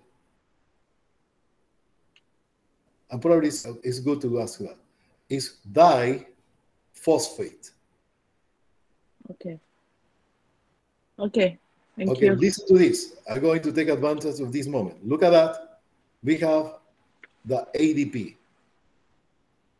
ADP. Two phosphates, correct? ADP. Now, I need to add, this is an uncharged battery. The ATP, the ATP is a charged battery. charge. And this ADP is an uncharged battery. Okay? Now, in order to obtain, to ten, turn to the uncharged to a charged battery to be used ready for energy, you need to add one phosphorus. Yes or no? Add. Yes or no? You follow me? Yes. Now, Yeah. in order to bring, thank you, in order to bring this phosphorus and glue it to the ADP, you need energy. It's not for free, it's coming for energy. You need to put something, a block on the wall, a brick, just to make a build, uh, a wall, in order to grab the, the brick to put it in place and glue it. They need energy. It's not for just by, uh, um, uh, by just wishing, right? So you need to use energy. That energy that is used to bring the phosphate to the ADP are going to be coming from the food. From what part of the food? The bones of the food. You break the bones of the food that release energy. Released energy is not going to be destroyed, it's going to be transformed. That energy coming from the breaking bones of the nutrients are going to release the energy, and that energy is going to take one phosphorus to put it into the ADP. And then at the end, what you're going to have is the ATP. And that is ready to use for the body for energy. You okay with that? Nice, right? It's not nice? Yeah. Okay. All right. Okay, so let's go to the next uh, uh, lesson. Now, uh, all right, so we already talked about that. Now we are going to talk about the some, uh, let me see what is coming. Yeah, body cavities. What time is it, please? Oh, God, I need to finish this right now. 105. 105 yeah all right so for this i want just you already this is open eyes chomsky okay so we are going to talk about monomers and polymers. And then we are going to touch again uh, metabolism and we finish that part to do to the very important part the body cavities. Okay. All right so i'm going to make it uh, simple and a summary of what we have here. Okay, so we have monomers. Monomers. And we have polymers. Polymers. Mono means one. Poly means many. All right, so I want just to realize something, guys. Look at that. Tell me, when you eat a piece of bread, what do you eat in the breakfast? Egg, uh, chicken, I don't know, whatever, you like in your breakfast. Tell me, if you eat a piece of chicken, that chicken is going to travel exactly as it is into your bloodstream? No, right? You don't you, you don't have in your blood running broccoli or, or or actually chicken or pork or nothing like that, right? So in order how but how these nutrients from the food are going to be useful use for the body. Now, that's why you need to eat it. How what does it mean? You need to chew it. Why you need to chew it? You need to chew food to make the molecules and to make the pieces of the meat smaller, smaller and smaller, smaller and smaller. Then they go to the stomach. In the stomach are going to have acid. And that acid, if you put a piece of meat in acid, that is going to break it down the meat in small and small and small and small components. Then they go to the intestine. In the intestine, there are going to be other other uh, chemical reactions that are going to make it even smaller, smaller and smaller. So the big piece of chicken or meat that you have put it in your mouth at the very beginning in the intestines are going to be at the level of molecules. And these molecules are, are small enough to pass through the cells of the intestines. So in the lumen, lumen is the space of the intestine. Okay, I'm going to write lumen very soon. The space of the intestine, the food is there, and they need to be absorbed. When they are absorbed, they are tiny enough in order to pass the cell membrane. Remember, we saw the cell membrane before? They need to pass through, that cell membrane. And for that, they need to be tiny enough to be absorbed. These tiny, uh, they are going to be absorbed, then are going to pass into the bloodstream. And that is how the nutrients are going to pass. The piece of chicken, the piece of meat, whatever you eat, are going to pass into the bloodstream. Otherwise, will not be able to pass. These smallest units are going to be called the monomers. So monomers of what? We have three main macronutrients. I, I will not mention macronutrients yet, but I'm going to mention the nutrients. Nutrients. The nutrients are going to come from the carbohydrates, sugars, and they're going to come from the fat, and they're coming from the proteins.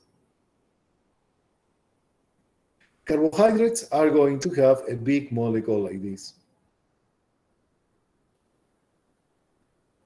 Whatever is the formula. Fats are going to be big chains of, of carbons like this, with each attached with hydrogens. There's a lot of hydrogens here, hydrogens, hydrogens, hydrogens. Proteins are going to be this type of molecule. So these are molecules. All right. So these carbohydrates, fats, and proteins, they have polymers and they can have monomers. All of the carbohydrate monomer, fat monomers, and protein monomers. We have carbohydrates like the glucose, for example, you need to get used to glucose, lactose, uh, etc. Galactose, uh, we have maltose, sucrose, etc. So just mention few one. One so far one is the glucose. So these glucose are okay. So these glucose, these glucose are going to be uh, actually able to be absorbed. All right. So I will tell you a few things here. All right. So let's go to the point because time is short and I want to have plenty time to talk about the body parts because it's main part of the exam. All right, so monomers in the in carbohydrates, carbohydrates are going to be the glucose, are going to be the uh, uh, galactose, and it's going to be the uh, the fructose. Polymers are going to be, for example, the cellulose, the glycogen. I'm not going to touch about amylase, amylopectin, so it's coming later. So these, these monomers are tiny enough. These molecules are big, too big to pass through the cell membrane. So monomers are the smallest unit of actually of the nutrient they can be absorbed by the by the intestine. That is carbohydrates. The fat. Fat we have polysaccharide. We have, for example, omega-3. Something to give you something that you're familiar with. Omega-3. But the monomer is the fatty acid. Yes, the fatty acid. Fatty acid is the monomer. Fatty acids are like this. So only one. So it's like a, a small worm. We have fatty acids. Fatty acids are these molecules like this. Well, it's going to be C, C, C, C, C, C, H, H, H, H, right? So fatty acid. Then Dr. we have G, yes. sharing the screen. We can't see anything you're drawing or anything. Right now? Really? Yeah. Why didn't Okay, so please uh, tell me when that happened, please, okay? So I've been talking like already 20 minutes, I guess. So please tell me, always the screen, uh, the screen should be shared, okay? So it's my fault. So please remind me, help me with that, okay? Okay? Got Okay. Wow, I've, I've, I didn't, okay, so but ATP and ADP are clear or no? Yeah. Okay. All right, so let's continue here. We, then we have, this is the monomer. Monomer is a single molecule. Is a single molecule. And polymers are actually many molecules together. Many molecules. So because of the size of many molecules, they cannot pass the cell membrane.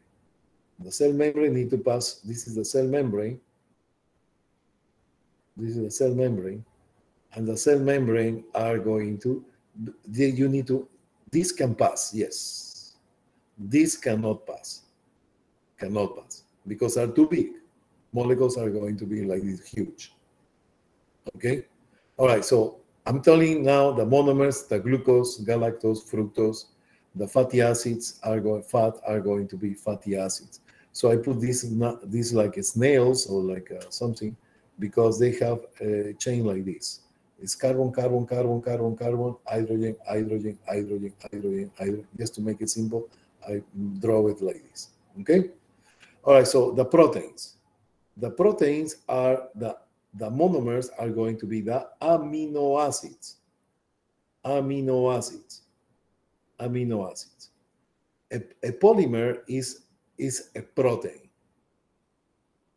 Okay, so how we can uh, we can think about this? You have a wall. You are a builder, and you want to build a wall with bricks.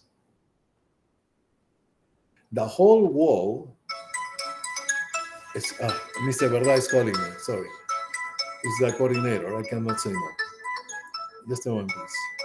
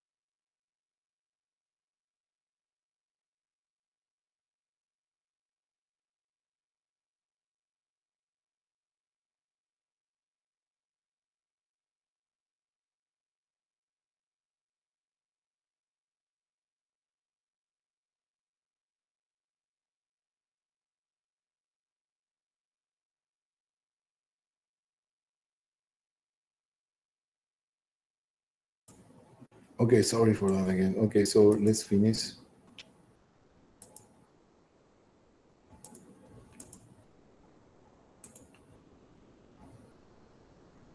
Is uh, some people come and roll late and I need to, okay. All right, so now here we have the proteins. The proteins, as I said, are going to be the amino acids at the monomer. Amino acid, amino acid.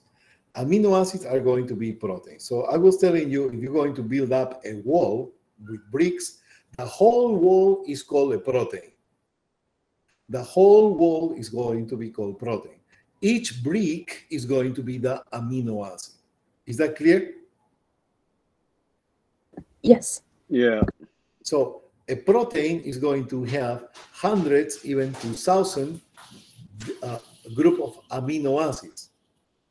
They're going to be repeat amino acids, different amino acids, any combination that you want.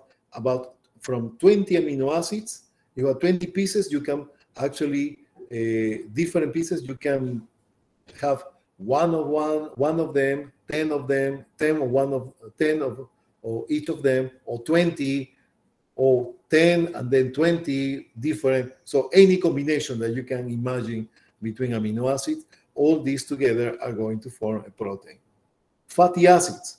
Fatty acids are going to be, for example, we have uh, fatty acids, the phospholipids are containing fatty acids, but the fatty acids together are going to form the triglycerides. Triglycerides or are going to form cholesterol. So those are polymers, okay? So fatty acids are going to be the, the monomer for fat. Amino acid, the monomer for proteins. And we have these molecules, monomers called carbohydrates, that I want you to remember is the glucose. Glucose is a monomer. Be okay with that?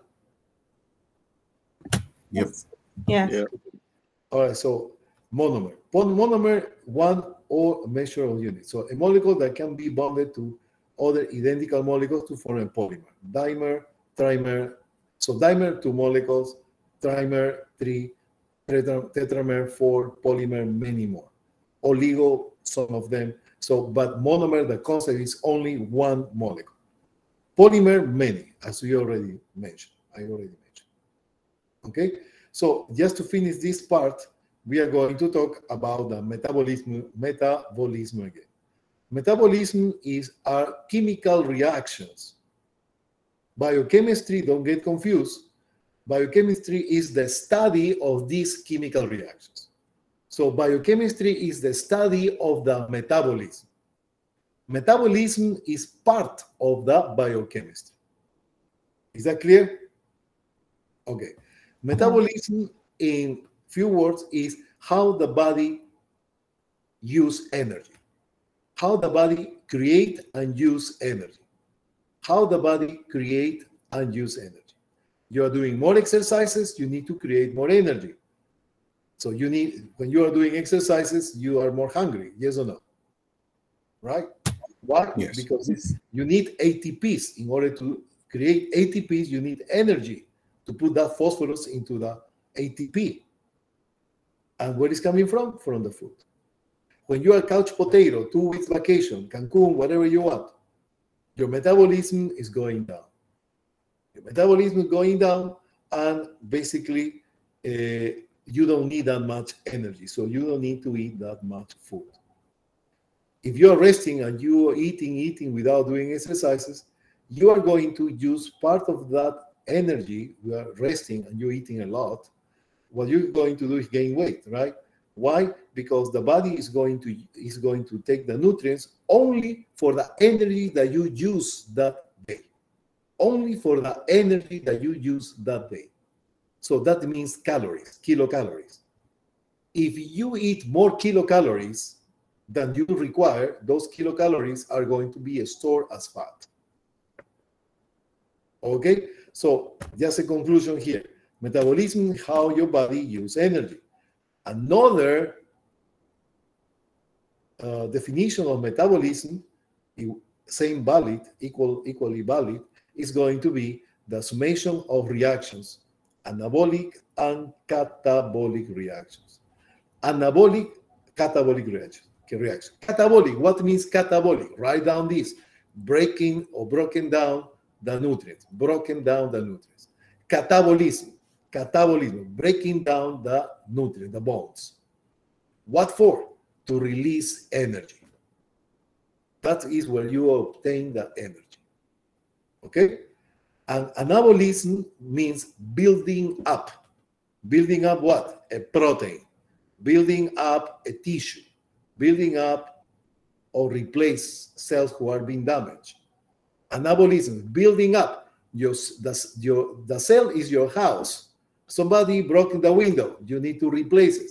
You need energy to replace that, that window and the building up and put together a new window is anabolic. You need to eat for the energy, catabolism, and you need to replace the window for the energy to replace the window. The window itself is you're building up your or maintaining your house. You're changing the window. You okay with that? Yes. Yeah. And the last thing, I will tell you something. Write down this babies, the youngest, the more anabolic reaction you have. The youngest, more anabolic you are. The youngest, more anabolic. The youngest, less catabolic. So when you're young, you are more anabolic building up than breaking down. When you are young, you are more anabolic and less catabolic. When you get old, is the opposite. When you get old, write down that when you get old, you are less anabolic and more catabolic. You get with that? Another example. Tell me, when you are sick, when you are sick, what happens when you are sick? When you are sick, your cells are being damaged. Correct? Some cells are being destroyed. Yes or no? whatever inflammation, whatever, right? So you are sick, you have a disease, your cells are being damaged. When your cells are being damaged, what is going to do the body? The body need to replace the tissue who was damaged. Yes or no? In order to replace, to replace these cells who were damaged, you need energy. Yes or no? Yes. yes. Where, where is coming that energy? From catabolic reactions. They provide, catabolic provide the energy to make ana anabolic reactions. Proof of that. You want the proof of that? Homework. No, no, don't do this homework, okay? Get sick for one week. So whatever sick. Somebody who is sick for one week. You were sick more than one week once in the past? Tell me, did you lose or you gain weight? You lose weight. You lose weight, right? Yes or no? Why you losing weight? Because your tissue will need to be repaired and you need energy. So the body is using all the resources of nutrients that are stored in your body. Fat, carbohydrates, especially and they are going to be breaking down, breaking down to release ATP to replace the tissue who were damaged. That's why you lose weight when you are sick. So conclusion here, write down this. Patient who with the disease, any disease, the patient is more catabolic than anabolic. So Marcel, what do you want to do if the patient is sick? How you can take care of the patient? You need to give it special food, easy to uh, be absorbed, easy food. You don't give taco with jalapeno or something like that, right? You give some chicken soup with nice uh, noodles, soft, whatever, easy to absorb to make the absorption faster because the body needs more energy. They're going to break down the nutrients. We okay with that? Okay, excellent. So uh, all right, so let's get started with the last part of the lecture. All right, so here we have, for example, uh, monomers, carbohydrates, proteins, lipids. I want you to remember the uh, the glucose, the amino acids, the lipid fatty acids are the monomers. Polymers, we see the triglycerides, I mentioned uh, omega-3. Proteins are proteins. Polypeptides, there's a slightly different. I'm not going to get confused on that. You confused on that. But polypeptides are more chains of amino acids. Proteins is the complete chain, in other words. But just remember proteins. In carbohydrates, we have see cellulose, cellulose, and this amylose, amylopectin. I don't want you to get dizzy with that. So I want just to remember the other one is that glycogen. Glycogen. Glycogen. I want to start you get used to these names. Glycogen, glycogen, glycogen. Glycogen is a polymer of a carbohydrate. Now, one last thing I want just to, uh, this is coming open eyes, open ears, uh, eh, open ears, open ears, is uh, nucleic acids. The nucleic acids are going to be pieces of the DNA. Pieces of DNA. So those are called the nucleotides. Nucleotides. If you compare a, a spiral stairs, a spiral stairs, you have a spiral stairs, go to the spiral stairs. The spiral stairs go having like a thousand story story building. So that is the DNA. The steps where you are putting your foot in those spiral steps, stairs, each step is going to be called a nucleotide or called base. This is the monomer of the DNA. Okay? And if you put all the steps of the spiral stairs all together, you're going to form the DNA. Is that clear or no? So the difficulty for you to, because for the exam, is to remember the word nucleotide. Nucleotide. Nucleotide are the pieces of the DNA. Nucleotides is called base as well. The base. The base, just remember the step of the spiral stairs. You okay with that? In a few words, I make yeah. you just actually explain about the, base, the monomer of the DNA. So DNA, you can compare like spiral stairs with thousand story building. Okay, if the DNA these bases are going to be like a normal proportion of our size in normal life. The DNA, those uh, six feet long in the cellular, in the cell, transforming proportion of human size is going to be 1,000 story building. And each base, each step is going to be one base or called nucleotide. Each step, each base, each nucleotide is called a monomer of the of the DNA or RNA that is, and the DNA, all the stairs, one to 1,000 stories, that is the DNA. Pieces of the DNA is going to be the nucleotide. Pieces of the triglycerides are going to be the fatty acid. Pieces of the proteins are going to be the amino acids. Pieces of glucose are going to, of the glycogen polymer, are going to be the glucose. You okay with that? Yes. Yeah. Okay, perfect. So let's go here and let's go to introduction of body organs. Okay, I'm behind three minutes. All right, so we are ready. Can we start? Yep. Okay. So here we have the body cavity. We are going to talk about body cavities. We are going to talk about some definitions. This area is going to take me a lot time to talk. And I think with that, we finish look like it's short, but I'm going to explain a lot. All right, so probably this is uh, remind you your high school time, so that, but we are going to add more stuff. Okay.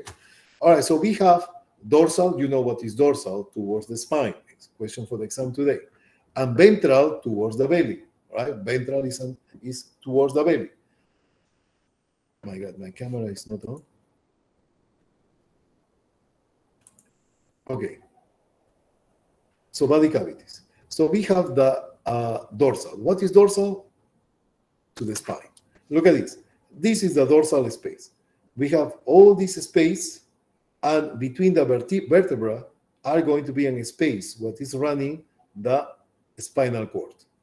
This is the spinal cord. So all what I draw in red is a cavity. It's like a tunnel. It's like a tunnel. And this and this is a cavity. So all this is one cavity. All this, all what I draw in red, that is the dorsal cavity. And what they are going to contain, the brain here, the brain, this is the brain, and here is going to contain the spinal cord.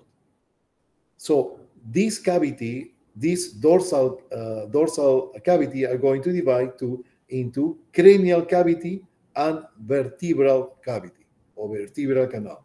So the vertebral canal and the uh, cranial cranial cavity. So those are the two components of the dorsal cavity. We okay with that? Yes. Yes. Okay. Yeah. So I hope it's that clear because it's coming for the exam. Now, this area, we have that thoracic cavity, thoracic cavity. Thoracic, we have all this area anterior to the body, all this area anterior to the body is going to be called the ventral cavity. Ventral cavity. This ventral cavity are going to divide in thoracic cavity, the thorax here, and the abdominal pelvic cavity. This is the abdominal pelvic, cavity. So we have two components, abdominal, pelvic, don't forget that, pelvic. Pelvic is part of the ventral cavity. And there is actually a one cavity here. So that's why it's called abdominal pelvic cavity, because there is no division between the pelvis and the abdomen. And at the difference between the thorax and the abdominal pelvic, this thorax is here, here we have a diaphragm in between. Can you see the diaphragm? The diaphragm is here, diaphragm. This diaphragm is dividing the ventral cavity into thoracic cavity and abdominal pelvic cavity. And it's called abdominal pelvic cavity because we don't have a diaphragm here. We don't have a diaphragm like this. So it's a continuity, there is a continuity of the cavity between the abdomen and the pelvis. You okay with that? Yes. Okay, I'm going to give you, I'm tempted to tell you some anklets here. All right, are you ready? Now, where is ending the pelvis? Where is ending the abdominal cavity, and where is begin the beginning of the of the pelvis? Okay, so it's very difficult to say that uh, because the anatomy is slightly variable. But what I'm going to tell you that is going, and never forget this, please. Okay. All right.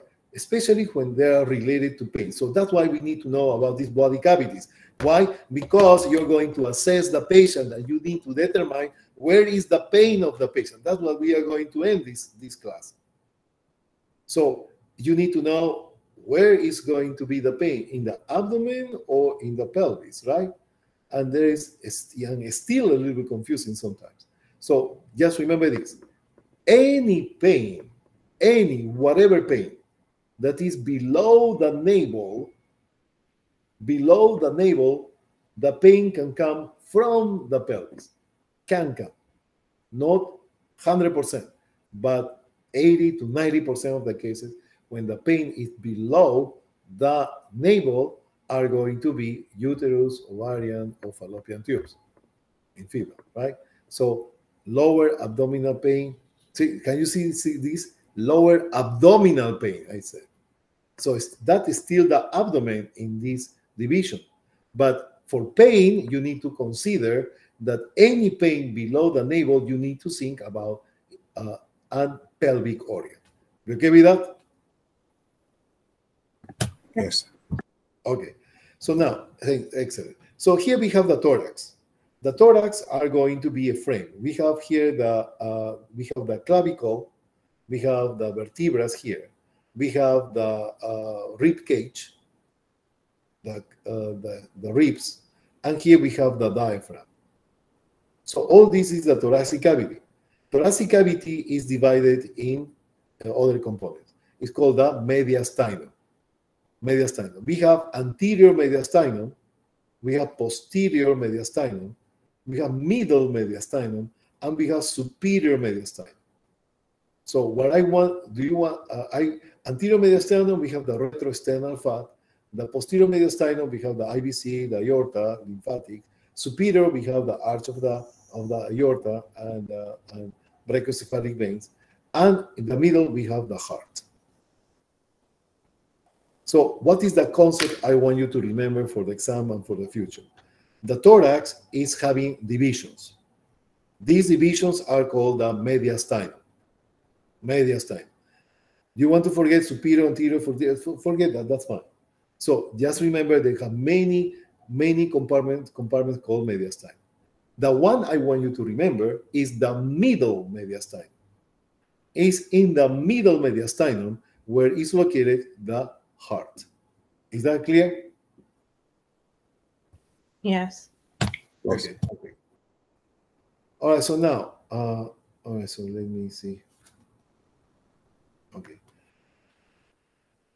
I always think to start this first than previous, but okay.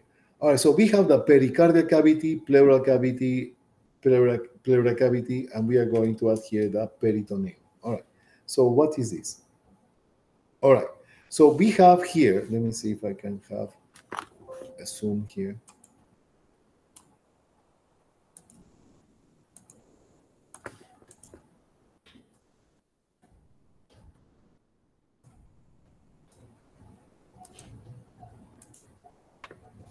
Okay, so look at this.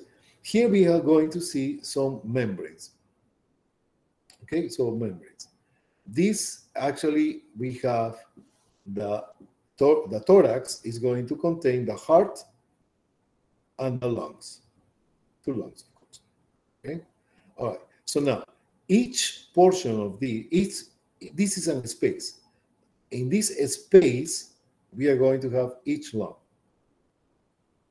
One lung here, one lung here, and in the center we have here the heart. And we have another peri another cavity here that is the peritoneum. You need to be familiar with that. Peritoneum. Peritoneal cavity or abdominal cavity that's composed to by the pelvis. Okay, anyhow.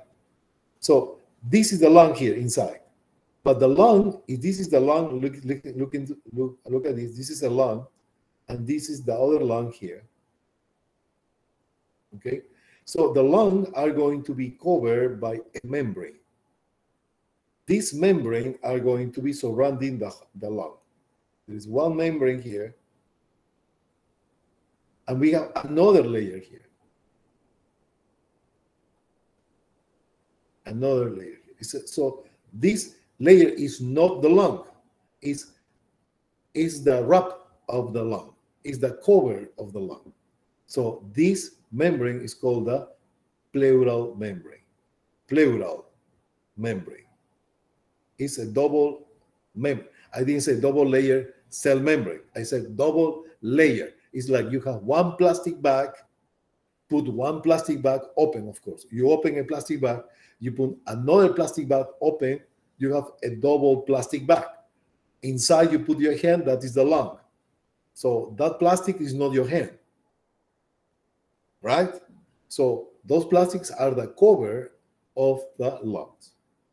So this pleural membrane are going to have two layers. So we have similar here. And I'm going to make it more, they are very close to each other, so, but for the purpose of explaining, I'm going to make it a little bit uh, uh, separate, okay? All right, so now this membrane, this membrane are going to, this membrane are going to be closer to the lung. This membrane closer to the lung are going to be called the, the uh, visceral pleura. Visceral means organ. So what does that mean? This membrane is closer to the organ, is closer to the lung. And this other layer of the pleura, all these together is pleura, is called the parietal, parietal pleura. And what is parietal pleura? Parietal pleura is parietal means wall. So thorax is closer to the thoracic wall. So here we have the, the lung. We have one layer here that is close to the lung, the visceral layer, and we have another layer, outer layer, that is the parietal layer, that is more in relation with the rib cage. You okay with that? So visceral is inner and parietal is more outer. Okay? Hello? Yes? Yep. Yeah, okay. So, but you say, why we need to know this? Okay, I will tell you why you need to know this. In between the visceral pleura and the parietal pleura, we have fluid. We have fluid. This fluid is about 30 mLs. So that means that is about two tablespoons of, uh, of actually fluid. Why is doing this fluid? What is in between them? They are going to be there because the lung is going to inhale and exhale. It's going to change size all the time. They're going to a lot, a lot of motion, a lot of activity. So these membranes are going to decrease the friction between the lungs and the surrounding organs.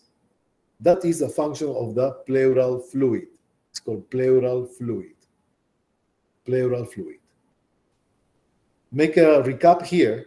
We have the pleural membrane. Pleural membrane are going to be composed by the visceral layer, visceral, parietal layer. Visceral is the inner layer. Parietal is the outer layer of the pleural membrane. In between, we have the pleural fluid. I'm going to put it here, pleural fluid. Pleural fluid. And what is the function? Is to decrease the friction of the organ with other tissues. You okay with that? Okay. So now let's use. Oh, I I, erased this. I erased it by mistake. Okay. All right. So that is the pleural membrane. The pleural membrane. What is going to form is the pleural cavity. The pleural cavity. So what is it, what is the composition of the pleural cavity? Cavity is that is composed by the pleural membrane. Pleural membrane, they have parietal and visceral, pleural fluid. In between the two layers, in between the visceral and the parietal, in between the two layers are going to be the fluid, decreasing the friction of the organ with the surrounding tissue. That is one. We have another one. We have the the what? The peri, uh, peri, uh, pericardial pericardial pericardial space. The pericardial space are I'm going to draw a heart here. This is a heart. Okay, make a heart like this. And I'm going to do similar here. This heart are going to have a pericardium. The pericardium. One layer here, and then I'm going to make a little bit separate, and another layer here. So we have here, this is close to the wall, this parietal, the parietal layer. Here we have the inner layer close to the heart is the visceral layer. Parietal layer plus visceral layer are uh, plus the pericardial fluid because they have fluids there, pericardial fluid pericardial fluid.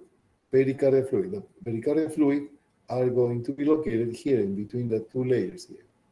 And the function you're already suspecting what is the function. The function will be to decrease the friction because the heart is moving all the time. I'm going to decrease the friction between layers. Okay?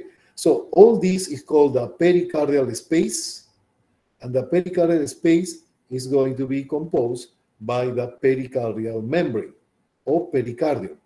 Pericardium. Pericardium o pericardial membrane. All right, so that is the function of that. So we okay with that? Is that clear? Yep. Yes. Okay.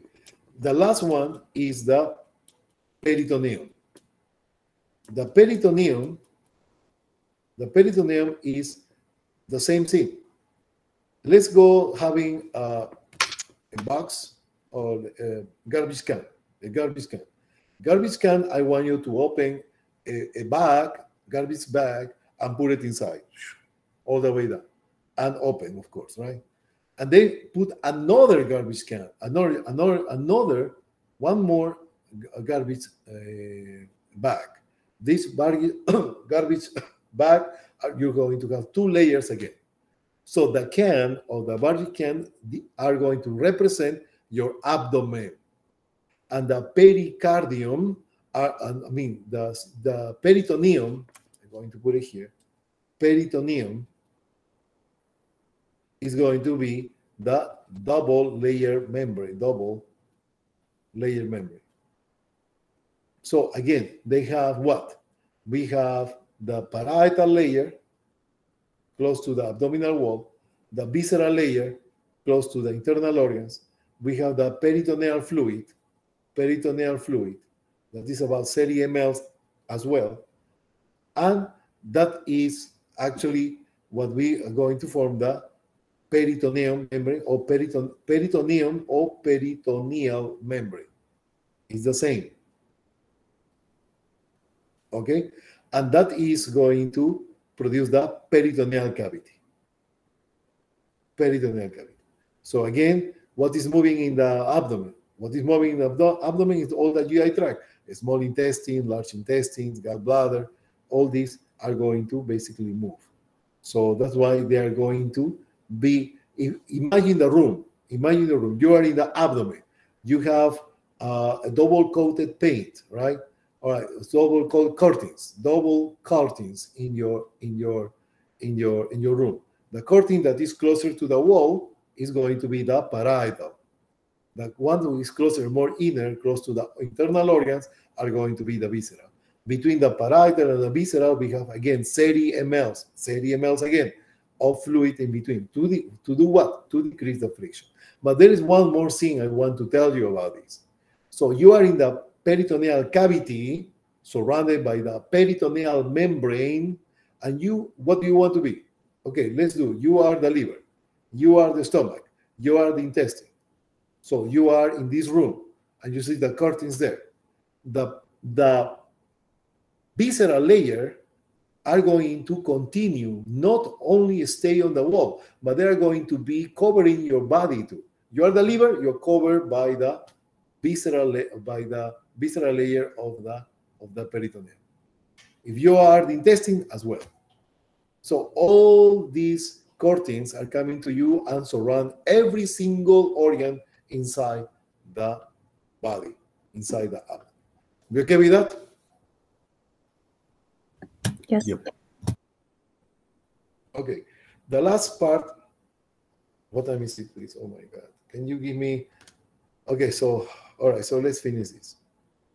All right. So there is two ways to. Let me see here. Uh, no, I'm going to make a shortcut.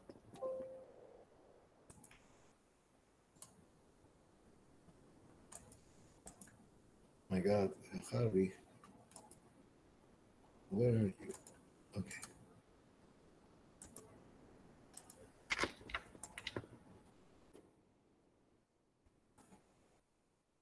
So we have two ways to divide the abdominal area. Okay, so please pay attention to this, okay? All right, so here we have the four quadrants. We have the four quadrants, four quadrants. And here we have nine regions. Nine regions. All right, so this is highly asked in the exam, okay?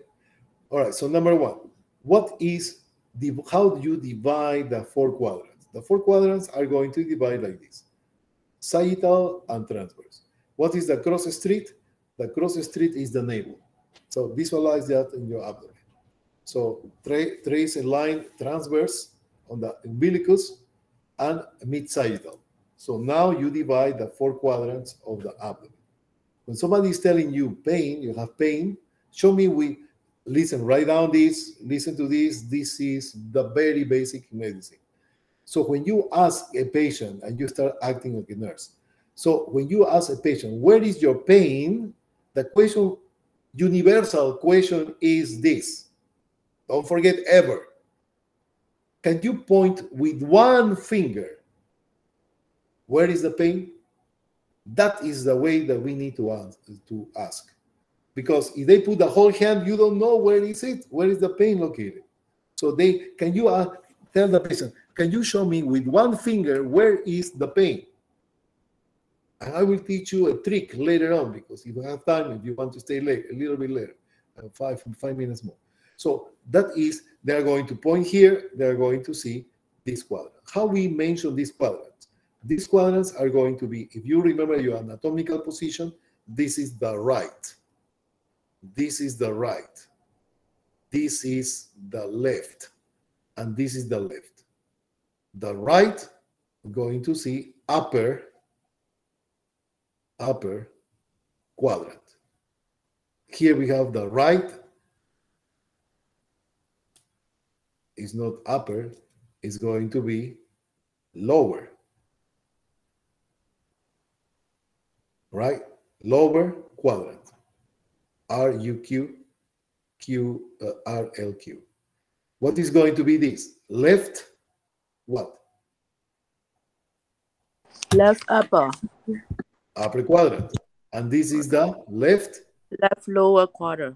There you are. So that is the uh, uh, the denomination of all these quadrants. Be okay with that? Yes. yes. Okay. Now let's go to the nine regions, and I will tell you why we need we need to know this. I already basically tell you, but I'm going to add more. So here we have the nine regions. The nine regions are divided here. This is the umbilical navel, so it's not the navel is not anymore the cross street here. So it's a difference.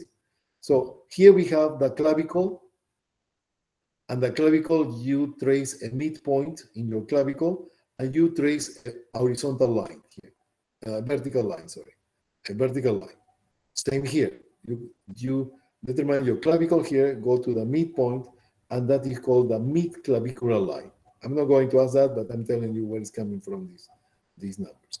Then we have touch your ribs. The inferior border of your ribs, go to the side here, the inferior, that is where the most inferior portion, you trace a transverse line. So below the ribs. And here you try to touch your upper, the, the highest portion of your pelvis bone, the, the pelvic, pelvic bone, you're going to trace a line here again. So we have here one, two, three, four, five, six, seven, eight, and nine regions. Nine regions versus four here. Okay, so what I want you to remember about this is this. Once you already have your try to practice in your in your family, friends, whatever. You can use your dog, your cat as well. All right.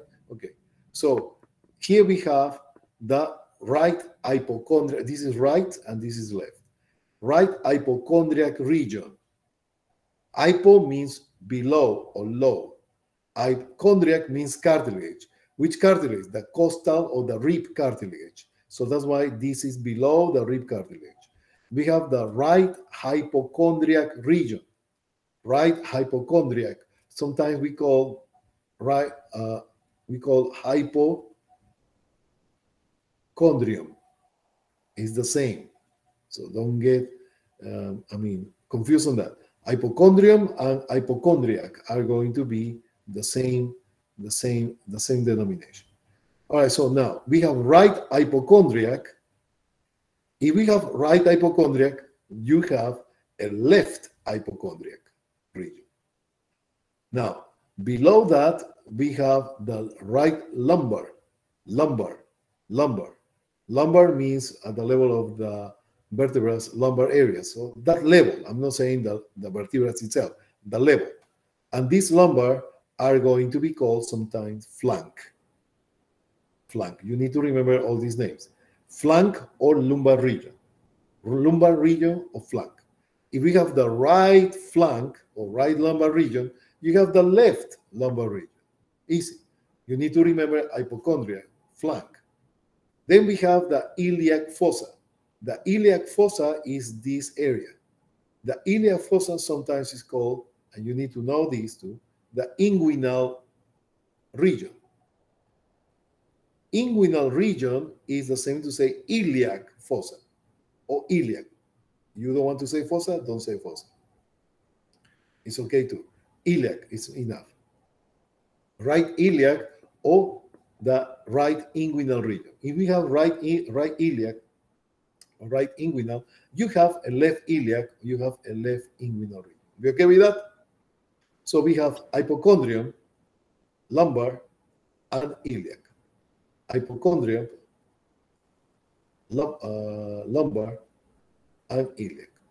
Well, okay. All right, so we okay with this? Yep. Yes.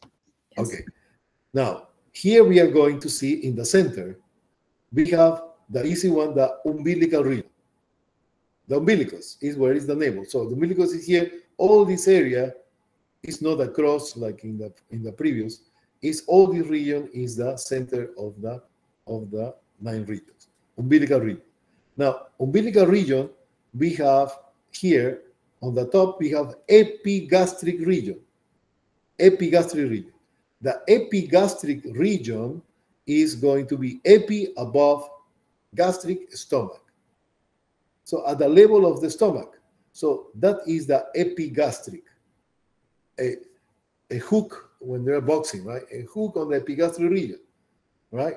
So they're going to basically be uh, somewhere in box, box when you somebody's box. Epigastric, so and the opposite will be having the hypogastric. Hypo means means below, low, under, right? It's under the epigastric. Epi means above. Where was the epicenter of the earthquake? Right? So how superficial, what how higher close to the surface is going to be the uh, epigastric, right? The epicenter. That's a word that we use, right? Hypogastric below the epigastric. Okay? All right, so the purpose of this, and with this I finish, is that, well, there's one thing, two things, three things, four that we need to finish. So here, this is question for the exam. In the right hypochondrium, we have the liver. The liver. I'm going to give you the most, not most important, but some of them. I give you the Christmas tree, and later on, you're going to, we are going to use the decorations for the Christmas tree. So the liver is located where? In the right hypochondriac region. Question for the exam. In the left hypochondrium, we are going to have the spleen. The spleen is in the right hypochondrium. Then we have in the right lumbar area, right lumbar area, going up is going to be the ascending colon. I know you're familiar with colon. Ascending colon.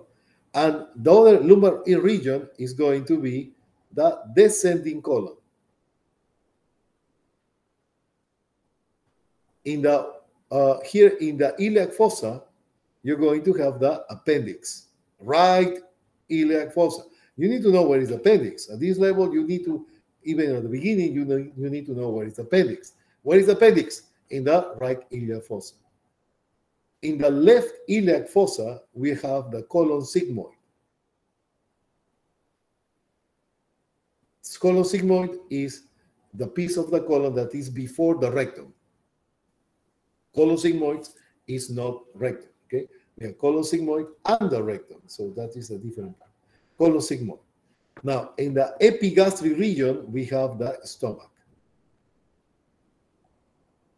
In the umbilical region, we have the small intestines.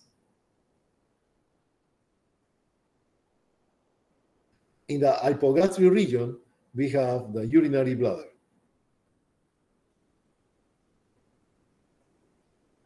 Female, the uterus as well. Okay. So that are the nine regions of the of the body. You okay with that? Yep. Yes. Okay. Number one, the questions are coming like this. Where is located the liver?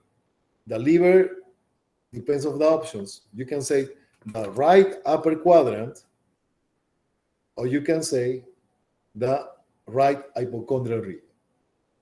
You know what I'm going to ask about the hypochondrial region. Okay, so the spleen, The spleen is located in the left hypochondriac region. So, or you can say in the right, on the uh, sleep. Why did I put the sleep? Oh, spleen. It's going to be in the right and the left, sorry, upper quadrant. That is where it's going to be the spleen. Right upper quadrant. Left upper quadrant. This is the right upper quadrant. All right. So here we have when you're talking about the um, or the area that is between the two regions and two quadrants, but you want to say stomach, you're going to see in the upper abdomen, middle upper abdomen, or you can say epigastric region. So we said epigastric. In medicine, we call epigastric pain on the epigastric region. It could be uh, stomach upset, it could be ulcers, could be other reasons. Okay? All right. So I'm going to ask you what is, what is in the right in the right uh, lumbar region, or I can ask you what is in the right flank. In the right flank or right uh, lumbar is the ascending colon. What is in the left lumbar or left uh, flank? You're going to say that descending colon. When I ask you what is the right iliac or right inguinal, is you're going to tell me the appendix. When you are telling me, when I ask you, where is the urinary bladder, where is the uterus? You tell me it's in the hypogastric region. If I ask you, where is the colon, sigmoid, it's going to be located in the in the left inguinal or left iliac region. You okay with that? Yes. Yes. Yeah. That is number two. Number three. Number three is the way I'm going to ask you. So I suggest you to have to have a picture in your mind. Put a, a picture in your mind. Close your eyes and try to imagine all the regions. Because I'm going to ask you, what is superior to the umbilical region? And you will answer what? The epigastric region. Epigastric region. What is inferior to the umbilical region? Hypogastric. Hypogastric. Region. Hypogastric, yeah. Okay. What is superior to the right lumbar? Uh, The right. right hypochondriac. Exactly, right hypochondria. What is medial to the left lumbar? The umbilical region. Descending colon. So, The medial, medial to the Thing. center is going to be the umbilical region. Okay? Everybody clear or no? Please. Yeah. Are excellent. Now, what you're going to use when you are going to practice as a nurse, when you have a pain, the most common area, the most way, the most easy way is to local localize the pain in the uh, uh, in the four quadrants. Four quadrants. Very common pains will be liver, gallbladder, uh, kidneys is, is another story. Stomach. When you say stomach, is the one of the uh, cramps, cramps, diffuse cramps are going to be cramps is everywhere, right? Sometimes it's a diffuse cramps. But when you basically talk about the stomach pain, you're going to talk about epigastric pain. That tells you a lot. They're even ruling out saying epigastric pain. It can be many reasons, huh? Many things. It could be gastritis. It could be uh, GERD, gastroesophageal reflux. It could be uh, nauseous and vomiting, uh, stomach upset. It could be a myocardial infarction, epigastric pain. So you need to use when the pain is loca- localized below in the center below that is the epigastric region. On the sides we have the liver, gallbladder on the right hypochondria. And the last thing I want to tell you is this. And with this I completely finish. So we already agree that you're not going to tell the patient, tell me patient, are you having pain in your right lumbar region? And the patient doesn't know what you're talking about. So the patient said, I'm going to die or what? Right? So they don't know those terms. So you need to ask the patient, and you're not going to tell you, do you have pain in your epigastrium or uh, in the upper portion of your abdomen? That is not a way to, to ask. You're never going to give the answer to the patient. You never give the answer to the patient because the patient is going to tell you yes, yes, yes, yes. And the last thing is to ask the patient, can you show me with one finger where is your pain? And that is where they are going to direct the pain. Okay? You okay with that? All right. Yep. So let's go very quick to the math.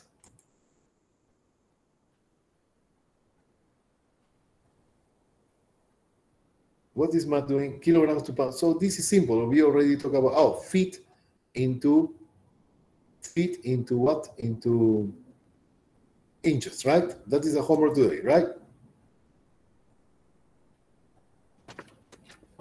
Right or no? Yes or no, please? Yeah. Okay. Yes. So now you you are going to do the homework, and we are going to tell you how to do it. So, for example, in uh, let's say five feet, six inches. I want to change it into centimeters. Feet is the same to say like this, right? And inches are going to be like this. Okay, so this five feet, six inches. So you need to do the conversions first. Conversions, you need, first of all, you need to change feet, you need to make a plan. The plan is going to be to change feet into inches and inches into centimeters.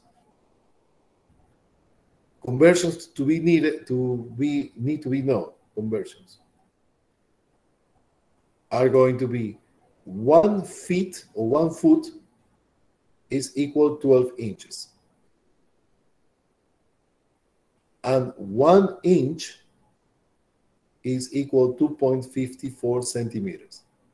You okay with that? Okay. So you have five feet. Five feet, I need to turn, according to my plan, into inches first. So I know that I need to make the conversion. So I multiply by a fraction. Where I put feet? Below here. Because I want to cancel that. And what I want to see? Inches. So now I know that one feet or the one feet is 12 inches. Correct? Yes or no? Yes. Yeah. So feet and feet goodbye, and that is giving me 60 inches, correct? Yep. Plus, I don't need more conversions here because they're giving me six inches. So if I have 60 inches on here plus six inches, uh, you're going to make a summation. So you have at the end 66 inches, correct? Yep. Now, 66 inches are going to transform into centimeters. So I'm going to multiply by, by the fraction where I'm going to put inches below here because I don't want to see inches anymore. I want to have centimeters. And these centimeters, you're going to know the equivalence that we talk here. One inch is equal to 2.54 centimeters. How much is that? Somebody can help me?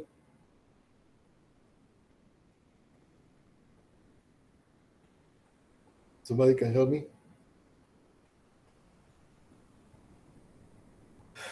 Okay. It's going to be 167 centimeters.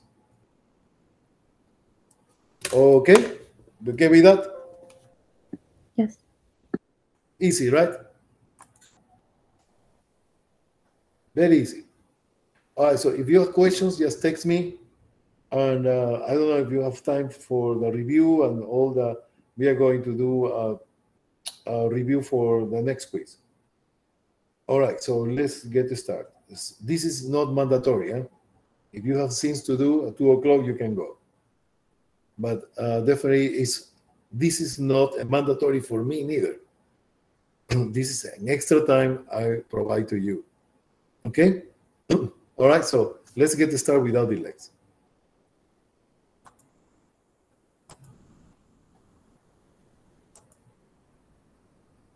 If you leave, just tell me bye, okay?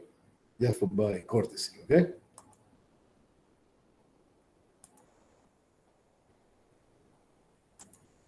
What about if some, everybody leave? I'm talking to myself, so I want to. We're still here. Okay. All right, so uh, give me 10 seconds. Five seconds. Three seconds, two seconds. One second. Okay.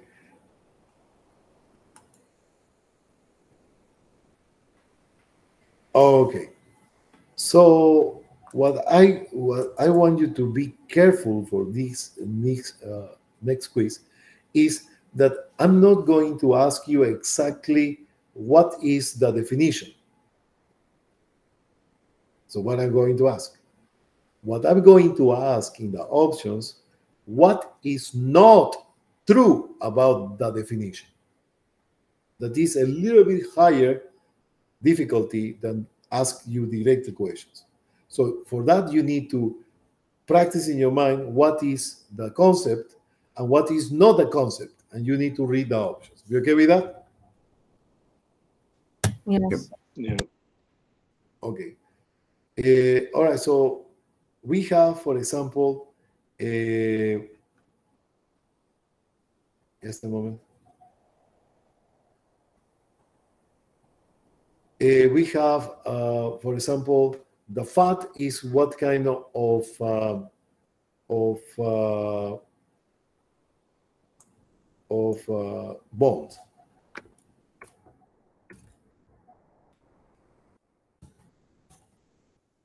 What is the what type of bond is going to be fat?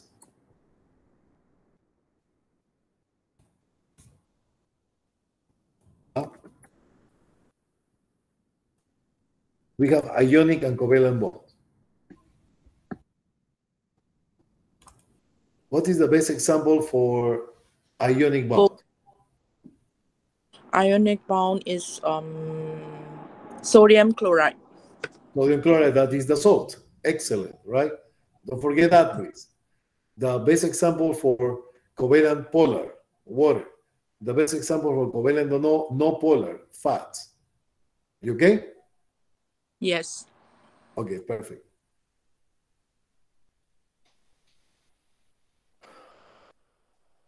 So for this, you're going to have, for example, if I ask you what is hydrophobic reaction, you will tell me fat. What is hydrophilic reaction? You tell me the you tell me uh, the water. And, Water. And what is hydrophilic is the sodium chloride. Okay. Yes. All right, so uh, you need to remember, I want you to remember what is organic and inorganic. What is the concept to di differentiate a substance that's organic versus inorganic?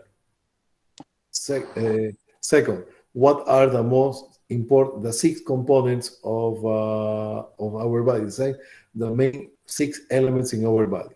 Chomsky, remember that?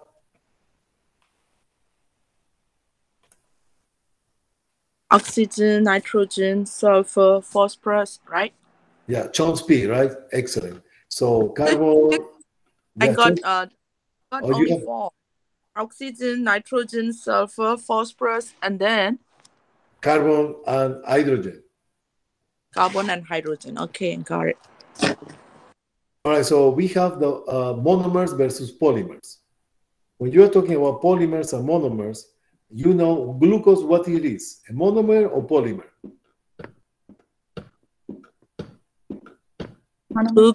Monomer. Monomer. What is amino acid?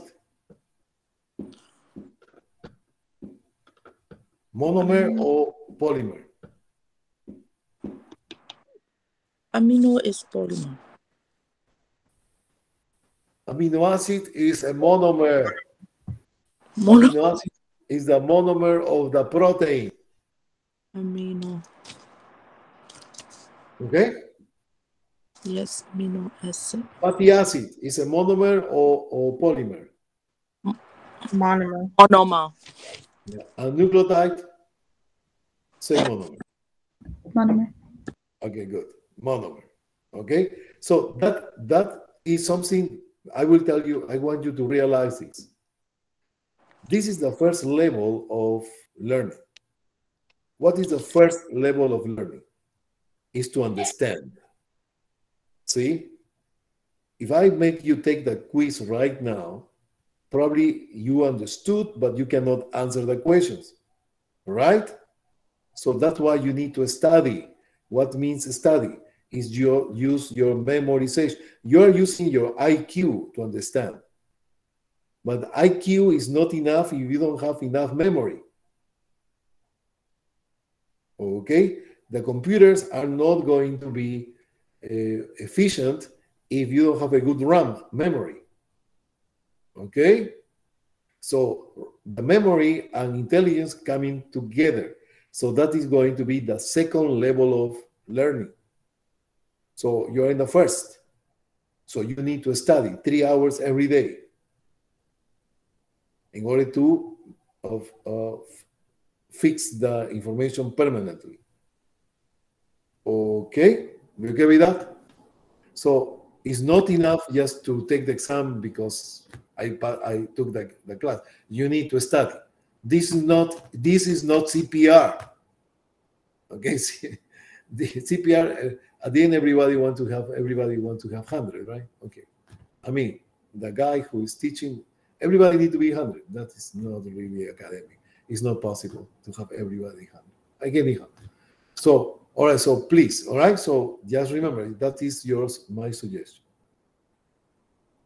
I'm telling you, I have many years teaching, so please follow, follow, follow, um, follow um, uh, suggestions, please. It's up to you at the end. But at least there is somebody who is telling you things, okay? And that's my purpose. I, I don't uh, anyhow. So now we have here the nine regions. I want you to take a picture and put it in your mind, put stickers, put in the bathroom, in the kitchen, in the microwave, in your plate, whatever, but need to be learned very well for next exam. Same for the four quadrants. What is the upper right quadrant, right, left, superior, okay? In the abdominal cavity, we are going to see different organs. All the internal organs you have in your body. What you have in the abdominal organs. Abdominal organs will have the uh, liver, gallbladder, the kidneys, the intestines, the pancreas.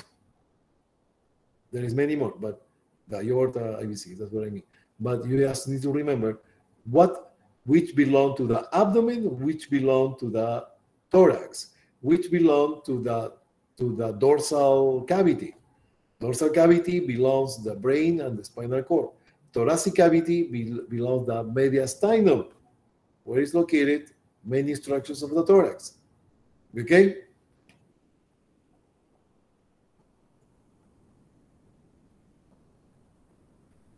I want you to remember what are simple and compound molecules. We all right? Yes. All right, so that is a very narrow review, and uh, definitely I want to focus on that. But you know what? Your responsibility, and you are paying your money. Don't waste your time doing something else. No, now don't do emergency parties, please. No emergency parties. No emergency parties. You need to study all these 1,570 hours. Dedicate your life exclusively to study that is going to give you the reward that you need for yourself, not for me. It's for yourself. Right?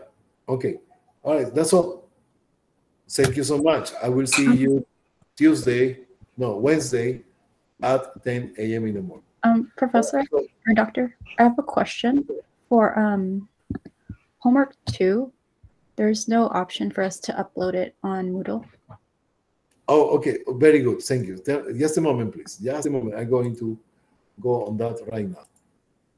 Thank you for letting me know, Marcel. Let me check because, yeah, that is the help I sometimes I need. So I, I really very in the right moment. All right, so quiz two, medical. Okay. Oh, Ah, just a moment, just a moment, just a moment.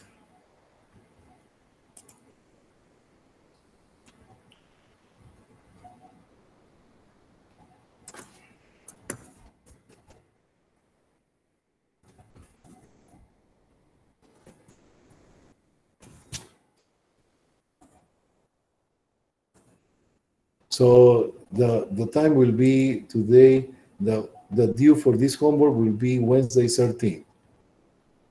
Okay?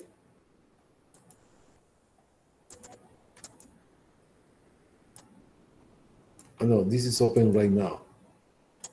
This, uh, I'm going to close this. It's going to be closed. Oh, uh, I'm going to be no, open.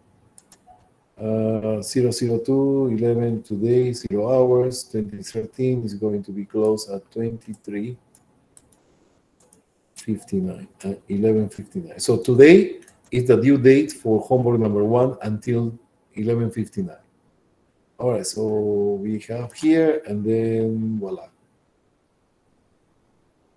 Uh, love your homework here. I'm going to make it more evident here, homework there and then to the right, just to tell you that is part of it. Okay, thank you so much, Marcel.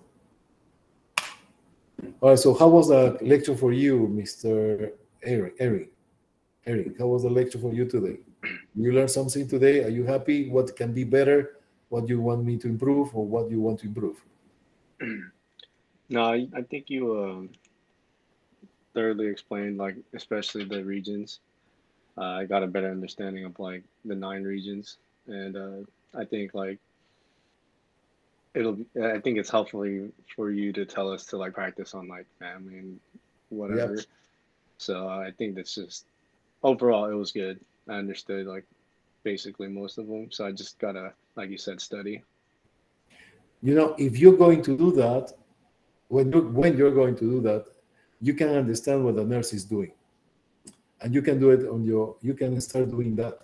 So yeah this is the first step in your assessment of nursing. That's very good. Thank you. Thank you Eric. uh shani. Shani right? Shani? I pronounced right? Yes. Shani what is your opinion? Um it was the the lecture was very thorough um, and you know providing the pictures and just doing a breakdown of everything that is on the lecture helps a lot. So i wouldn't change anything right now no. Oh that is a very good compliment. Thank you so much Jenny. but definitely always you there if something to improve we are there. Okay? I'm trying to be well try to be perfect in everything i'm doing and better. Always is a space to improve. Always a space for errors always a space for improvement Okay, Miss Nant, uh, yeah, probably we can talk a little bit after class, but how is the lecture for you? Your microphone is off, Miss Nant. The lecture is good, um, but, but uh, okay. I'll talk with you later, yes. But, okay, but about the lecture itself? Yes, the, the, the, the lecture is okay. Okay. Awesome.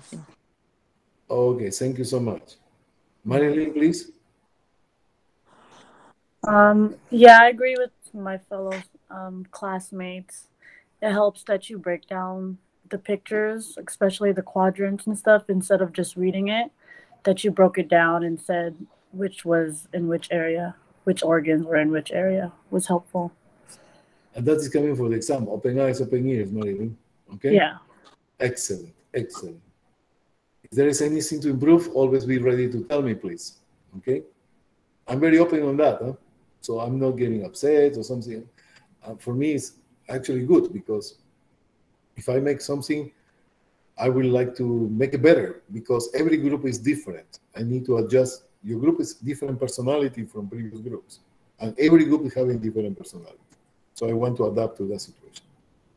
Thank you, Ms. Marie. Mr. Daniel, please. Uh, everything was good. I haven't I haven't dealt with the nine regions in a long time. I've been doing patient assessments for a while, just using the quadrant system. So that was a uh, that was definitely nice. Okay, excellent. So, yeah, I, I'm, I'm going to rely on your experience. I'm going to rely very soon on your feedback in your participation there. So yeah, I think you're going to nourish our our group very much. Thank you so much, Daniel. Thank you. Uh, Miss, a wrap up, please, Miss Marcel. Yeah, everyone said pretty much that it was straightforward. Um, the lecture images were helpful. Um, I agree with Daniel. The um, nine regions, it's good to go over it because I I was seeing um, the four quadrants all the time, and not much of the nine regions. Excellent, excellent. Okay, um, all of you, thank you so much for coming. I hope you enjoy this class as much as I did, and uh, you have uh, contact me anytime. Don't forget your medical terminology. You start to do it. Don't wait until the end of the course, because at the end of the course you want to be focused on the final exam. You don't want to do my medical terminology. So do it at least one week before, complete one week before your final exam, in order you to be focused on the final exam. It's very, I'm telling you, many people regret not to do it. So do it, try to do it ahead of, just put it out of your plate. Finish that, memorize that. But I'm telling you, there is in the midterm, I'm telling you ahead of time, we have three components. There are going to be some medical terminology in the in the exam. Okay, uh, there are going to be a math, math that we read, uh, did so far. It's not going to be probably a few questions, one or two questions of math, and the rest in didactic. You okay with that? Yep. Yes. Yep. Okay. The midterm basically is going to be, to tell you an idea. Midterm questions for uh, medical terminology is about what you should have until the middle of the of the class, or the middle of the of the course. Okay, so it's not going to be medical terminology that is coming in the last part of the course of medical terminology. Only what is coming from the first part of medical terminology. Okay, but I give you. I don't want to tell you. Okay, every week you need to do medical terminology. I want you to decide yourself in your own pace. But before the midterm, you need to finish basically the first part of the medical terminology. That is going to be very kind of very helpful. Okay. So um, for the midterm, it's just the quizzes. Right? Uh, excuse me. Sorry. It's just the quizzes that we have to do on Moodle. Yes, for yeah. medical terminology. That is on your own. Yeah. Okay. All right. Thank you. So thank you so much. Thank And I will stay. I will stay until the end because somebody want to talk to me or not. So always I used to stay until the end. So for the rest, muchas gracias. Que tengan buenas noches, and I will see you on Tuesday. Thank you so much. Thank you. Thank you.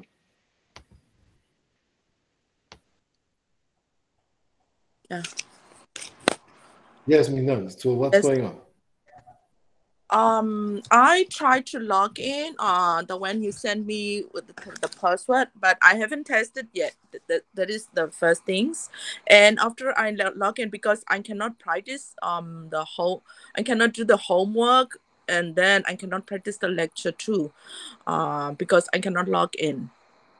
In Moodle?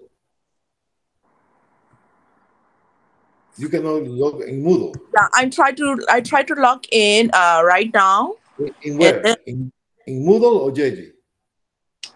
in Moodle. Okay, so that is need. I cannot help on that until the student services are going to make you officially log in into Moodle Moodle exam. I send you the enrollment key. I send. I saw that you have Yeah, access to the- Moodle, but Yes, if yes, not, the one you, if you you sent me that, the you cannot. yeah You cannot put the. You cannot put enrollment key. That means that you don't have access yet for Moodle. So that means that I cannot help on that. It's not because I don't want it, it's because I can't. It's not in my power to do it. So that is should be done by student services. Oh, okay. Yeah. So, um, doctor, let me Otherwise, I uh, let be- let me try. So, what time? otherwise I will- what- it will be a pleasure for me to you. But I cannot do that. So what time can I call you back? Um, by today, I I, I will try uh the password, and I will also ask uh the password from the office too.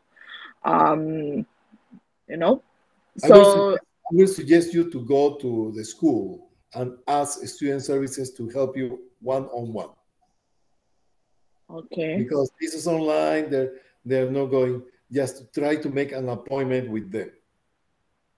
Okay, student So- services. Okay, So student service, you call Gornick Academy yes, and you go to uh, press zero. Press zero. You press push zero. Okay, and they are going to pass you directly to the uh, to the front student desk. service. The Front front desk. desk.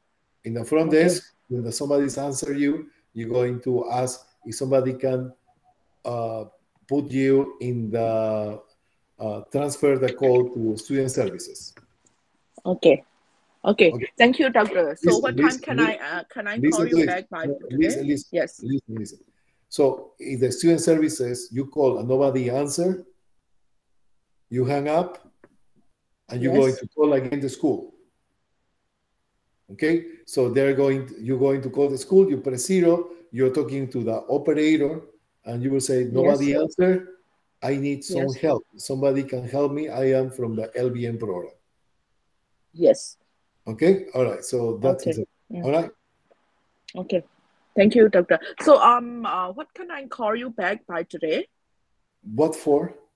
What is the reason? About for because um after I um after I can uh, go through to your class, um I might have some question to ask you. Yeah, I, I'm teaching all day, Miss, today. So I, Yeah. I have very book time. So can you do just uh, probably when you have access to Moodle, when you have access to Moodle, because I can help you, I can help you after you have access to Moodle. Yes. I- yes. I cannot help you before because it's not in my power to do it. Yes. Uh, Yes, if I, I will be able to do it, I will help you. But I cannot. I cannot really, literally, cannot do anything on that. So Yes. when you go Moodle, text me or call me. Text me better. Okay, I'm going to text you so so you can uh you can text Tell me back what time is your available, right? Exactly. Exactly. Okay. Okay. After I get it, uh, I can set up everything, and I I'm going to text you. Yes. Yes means no. Okay. None. Yeah. Sorry. Yeah. All Thank right. you. Thank, Thank you, you. doctor. Yeah. Yeah. Tell me, what is your background? What is my background? My background in America is nothing. Really? Wow. Uh, You know what? What I was thinking, Nant? I was thinking you have Uh-huh. a medical. You have a medical background. Um, actually, uh, I am. I've never worked uh, at the medical fee. This this is the first time I have been working medical fee for three years. Like um, CNA, you know, you already know that. Oh, okay. This is here, but I graduate. My I graduate with the chemistry in my gantry. I get the I have the bachelor of chemistry, bachelor of science. Okay. The major So is are- You chemistry. are science Yes. person. Okay, so that's good. Yes, That yes, is going to yes. help you a lot. So that's why I was Yeah, you have some background, some background because you can answer Yes. questions. But yeah, but you know, I'm I'm surprised myself when I you know learning back those um uh, chemistry uh subject. I stay you know stay memorize um some of those terms. You know, I have been after I graduated. I never worked with the the chemistry. Okay. Tell me, are you My from major. Yeah, yes, I came from Burma, Burma, Myanmar. Burma. Oh, you know Kay It Kaylee? is uh, I don't know. Katie who uh, wait. Where you live? you live me where here No, where do you live? Oh. Yes, what city? In America or No, where? what city are you coming from? Oh, Yangon, live? Rangoon City, Rangoon City, Oh, Rangoon City. Yeah, Rangoon, because they have Yes. they have a community of Burma people, like a club in in Pleasanton. Oh uh, yes, yes. You you you went there? No, I never been there. Yeah, but there is a big community of Burma. I know a student of mine. He has a very Yeah. big community of Burma. Yes. Yeah, so Yes. there's Burma. Yeah, I never, I never tried so far the food of Burma, but I will try some. Nice country, yeah. Okay. Okay. Thank you so much. Um, uh, I don't know. It is nice or nice country or not, but but uh, you know the leaders are not really nice. That's why uh, you know most of the people ran away from the country. I see. That's why I'm here too.